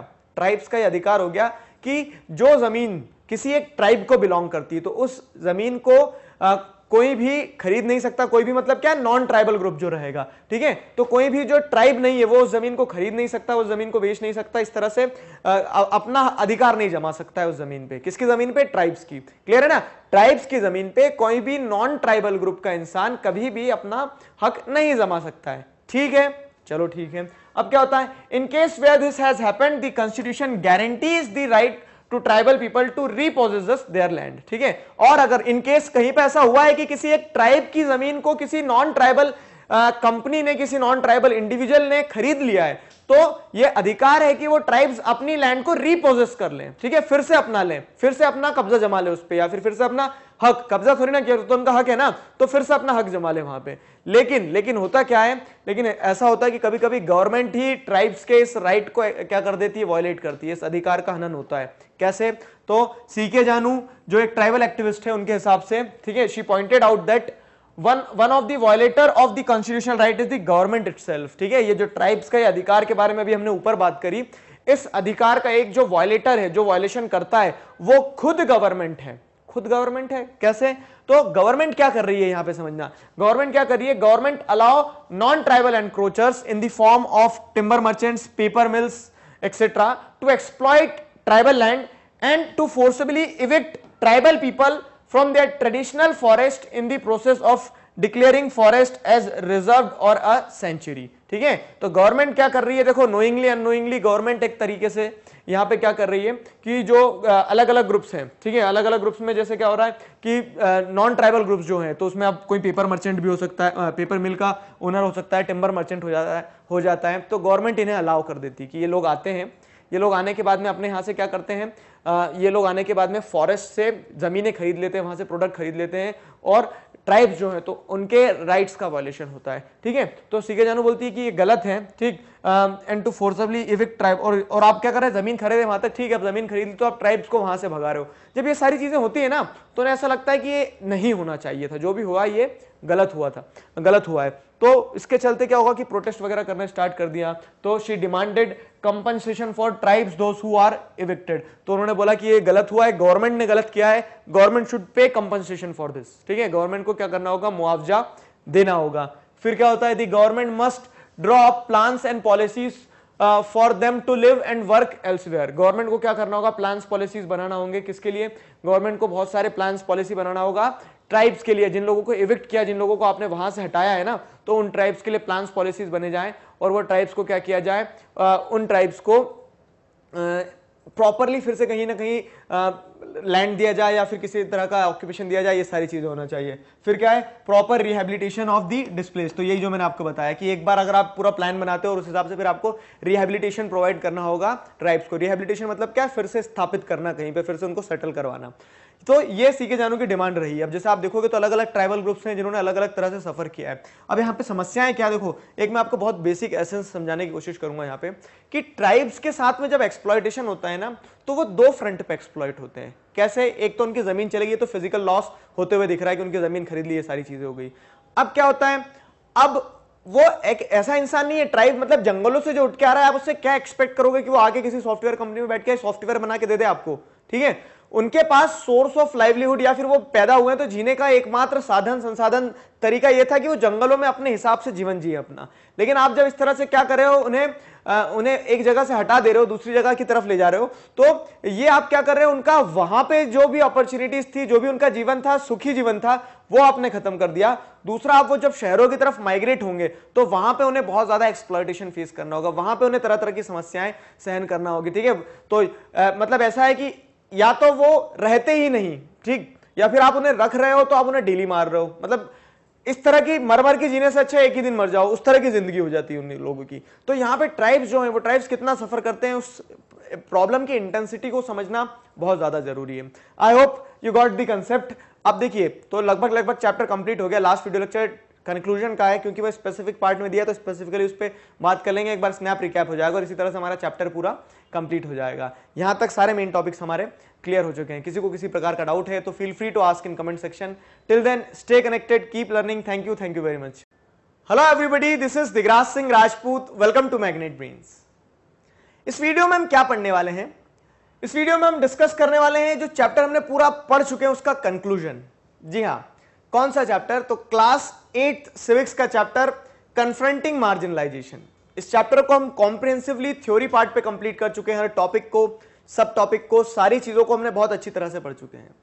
अभी जो देखना, जानना, समझना ज़रूरी है, वो क्या चीज़ है? वो सिंपल सी, सटीक सी एक चीज़ जो है हमारे सामने, वो ये है कि आपका जो यूनिट फोर था, उसमें आपने पहला चैप्टर पढ़ा अंडरस्टैंडिंग मार्जिनलाइजेशन आपने मार्जिनलाइजेशन को समझा कि मार्जिनलाइजेशन क्या होता है। अंडरस्टैंडिंग मार्जिनलाइजेशन के बाद में आपने क्या देखा कि किस तरह से मार्जिनलाइजेशन को कन्फ्रंट करना है? मार्जिनलाइजेशन मार्जिनलाइजेशन तो आपके सामने होगा ही होगा। अब उस मार्जिनलाइजेशन से आपको कैसे लड़ना है? कैसे कन्फ्रंट करना है? उस चीज़ को हमने समझा।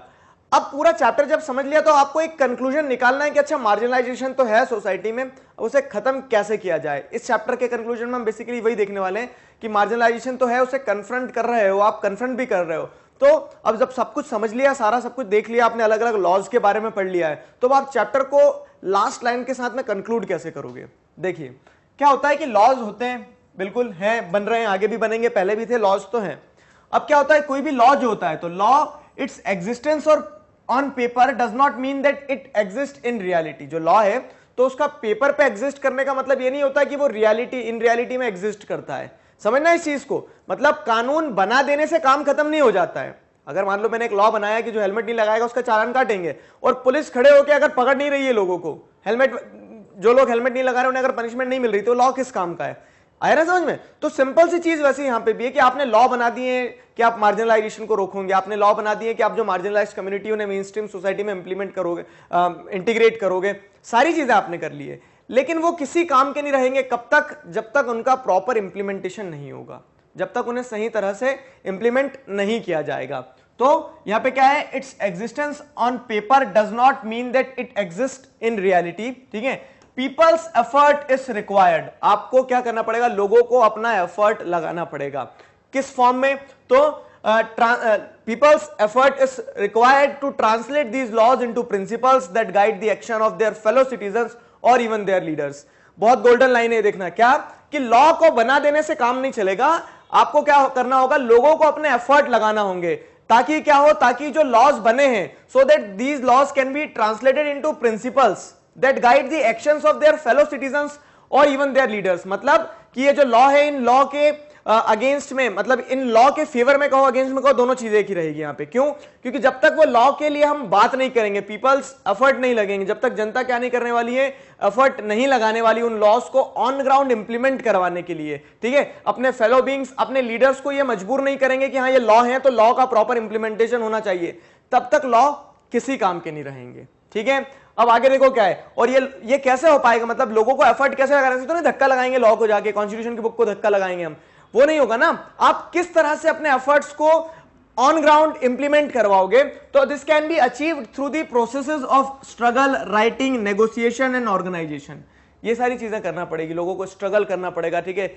लिख के देना पड़ेगा। लिख के देना पड़ेगा मतलब क्या है कि जैसे हमने देखा है पिटिशंस होती हैं एप्लीकेशंस लिखी जाती है वो। तो स्ट्रगल लॉन्च करना पड़ेगा, ठीक है? वो पीसफुल भी हो सकती है वॉलेंट भी होती है, लेकिन वॉलेंट क्या होता है? कॉन्स्टिट्यूशनली गलत होता है। Violence is not the solution क्यों? क्योंकि उससे डिस्टर्बेंस क्रिएट होती ना। तो स्ट्रगल्स हो राइटिंग हो नेगोशिएशन नेगोशिएशन मतलब क्या है कि आपस में लोगों के बीच में नेगोशिएट करना। नेगोशिएशन एंड ऑर्गेनाइजेशन ऑर्गेनाइजेशन मतलब आपस में इकट्ठे होकर एकत्रित होकर चीज़ें चलाई जाए काम किया जाए। तो ये सारा सब कुछ हमने देखा कि किस तरह से आप कंक्लूड कर सकते हो चीज़ों को कि हाँ आ, सिर्फ़ क्या कहते हैं कि मार्जिनलाइजेशन का मतलब ये नहीं है कि सिर्फ़ लॉज बना दिया आपने लॉज बना देने से आपका आ, काम हो जाएगा। आपको क्या करना है वो मार्जिनलाइजेशन है अगर लॉज के फेवर मतलब मार्जिनलाइजेशन के अगेंस्ट में अगर लॉज हैं तो उन लॉज का प्रॉपर इंप्लीमेंटेशन भी बहुत ज़्यादा ज़रूरी है। क्लियर है? Because the desire for equality dignity respect is not new और ये जो पूरी कहानी हमने पढ़ी है कि क्यों मार्जिनलाइजेशन गलत है तो ये लास्ट लाइन में आप सारी चीज़ों को समझ सकते हैं। क्या?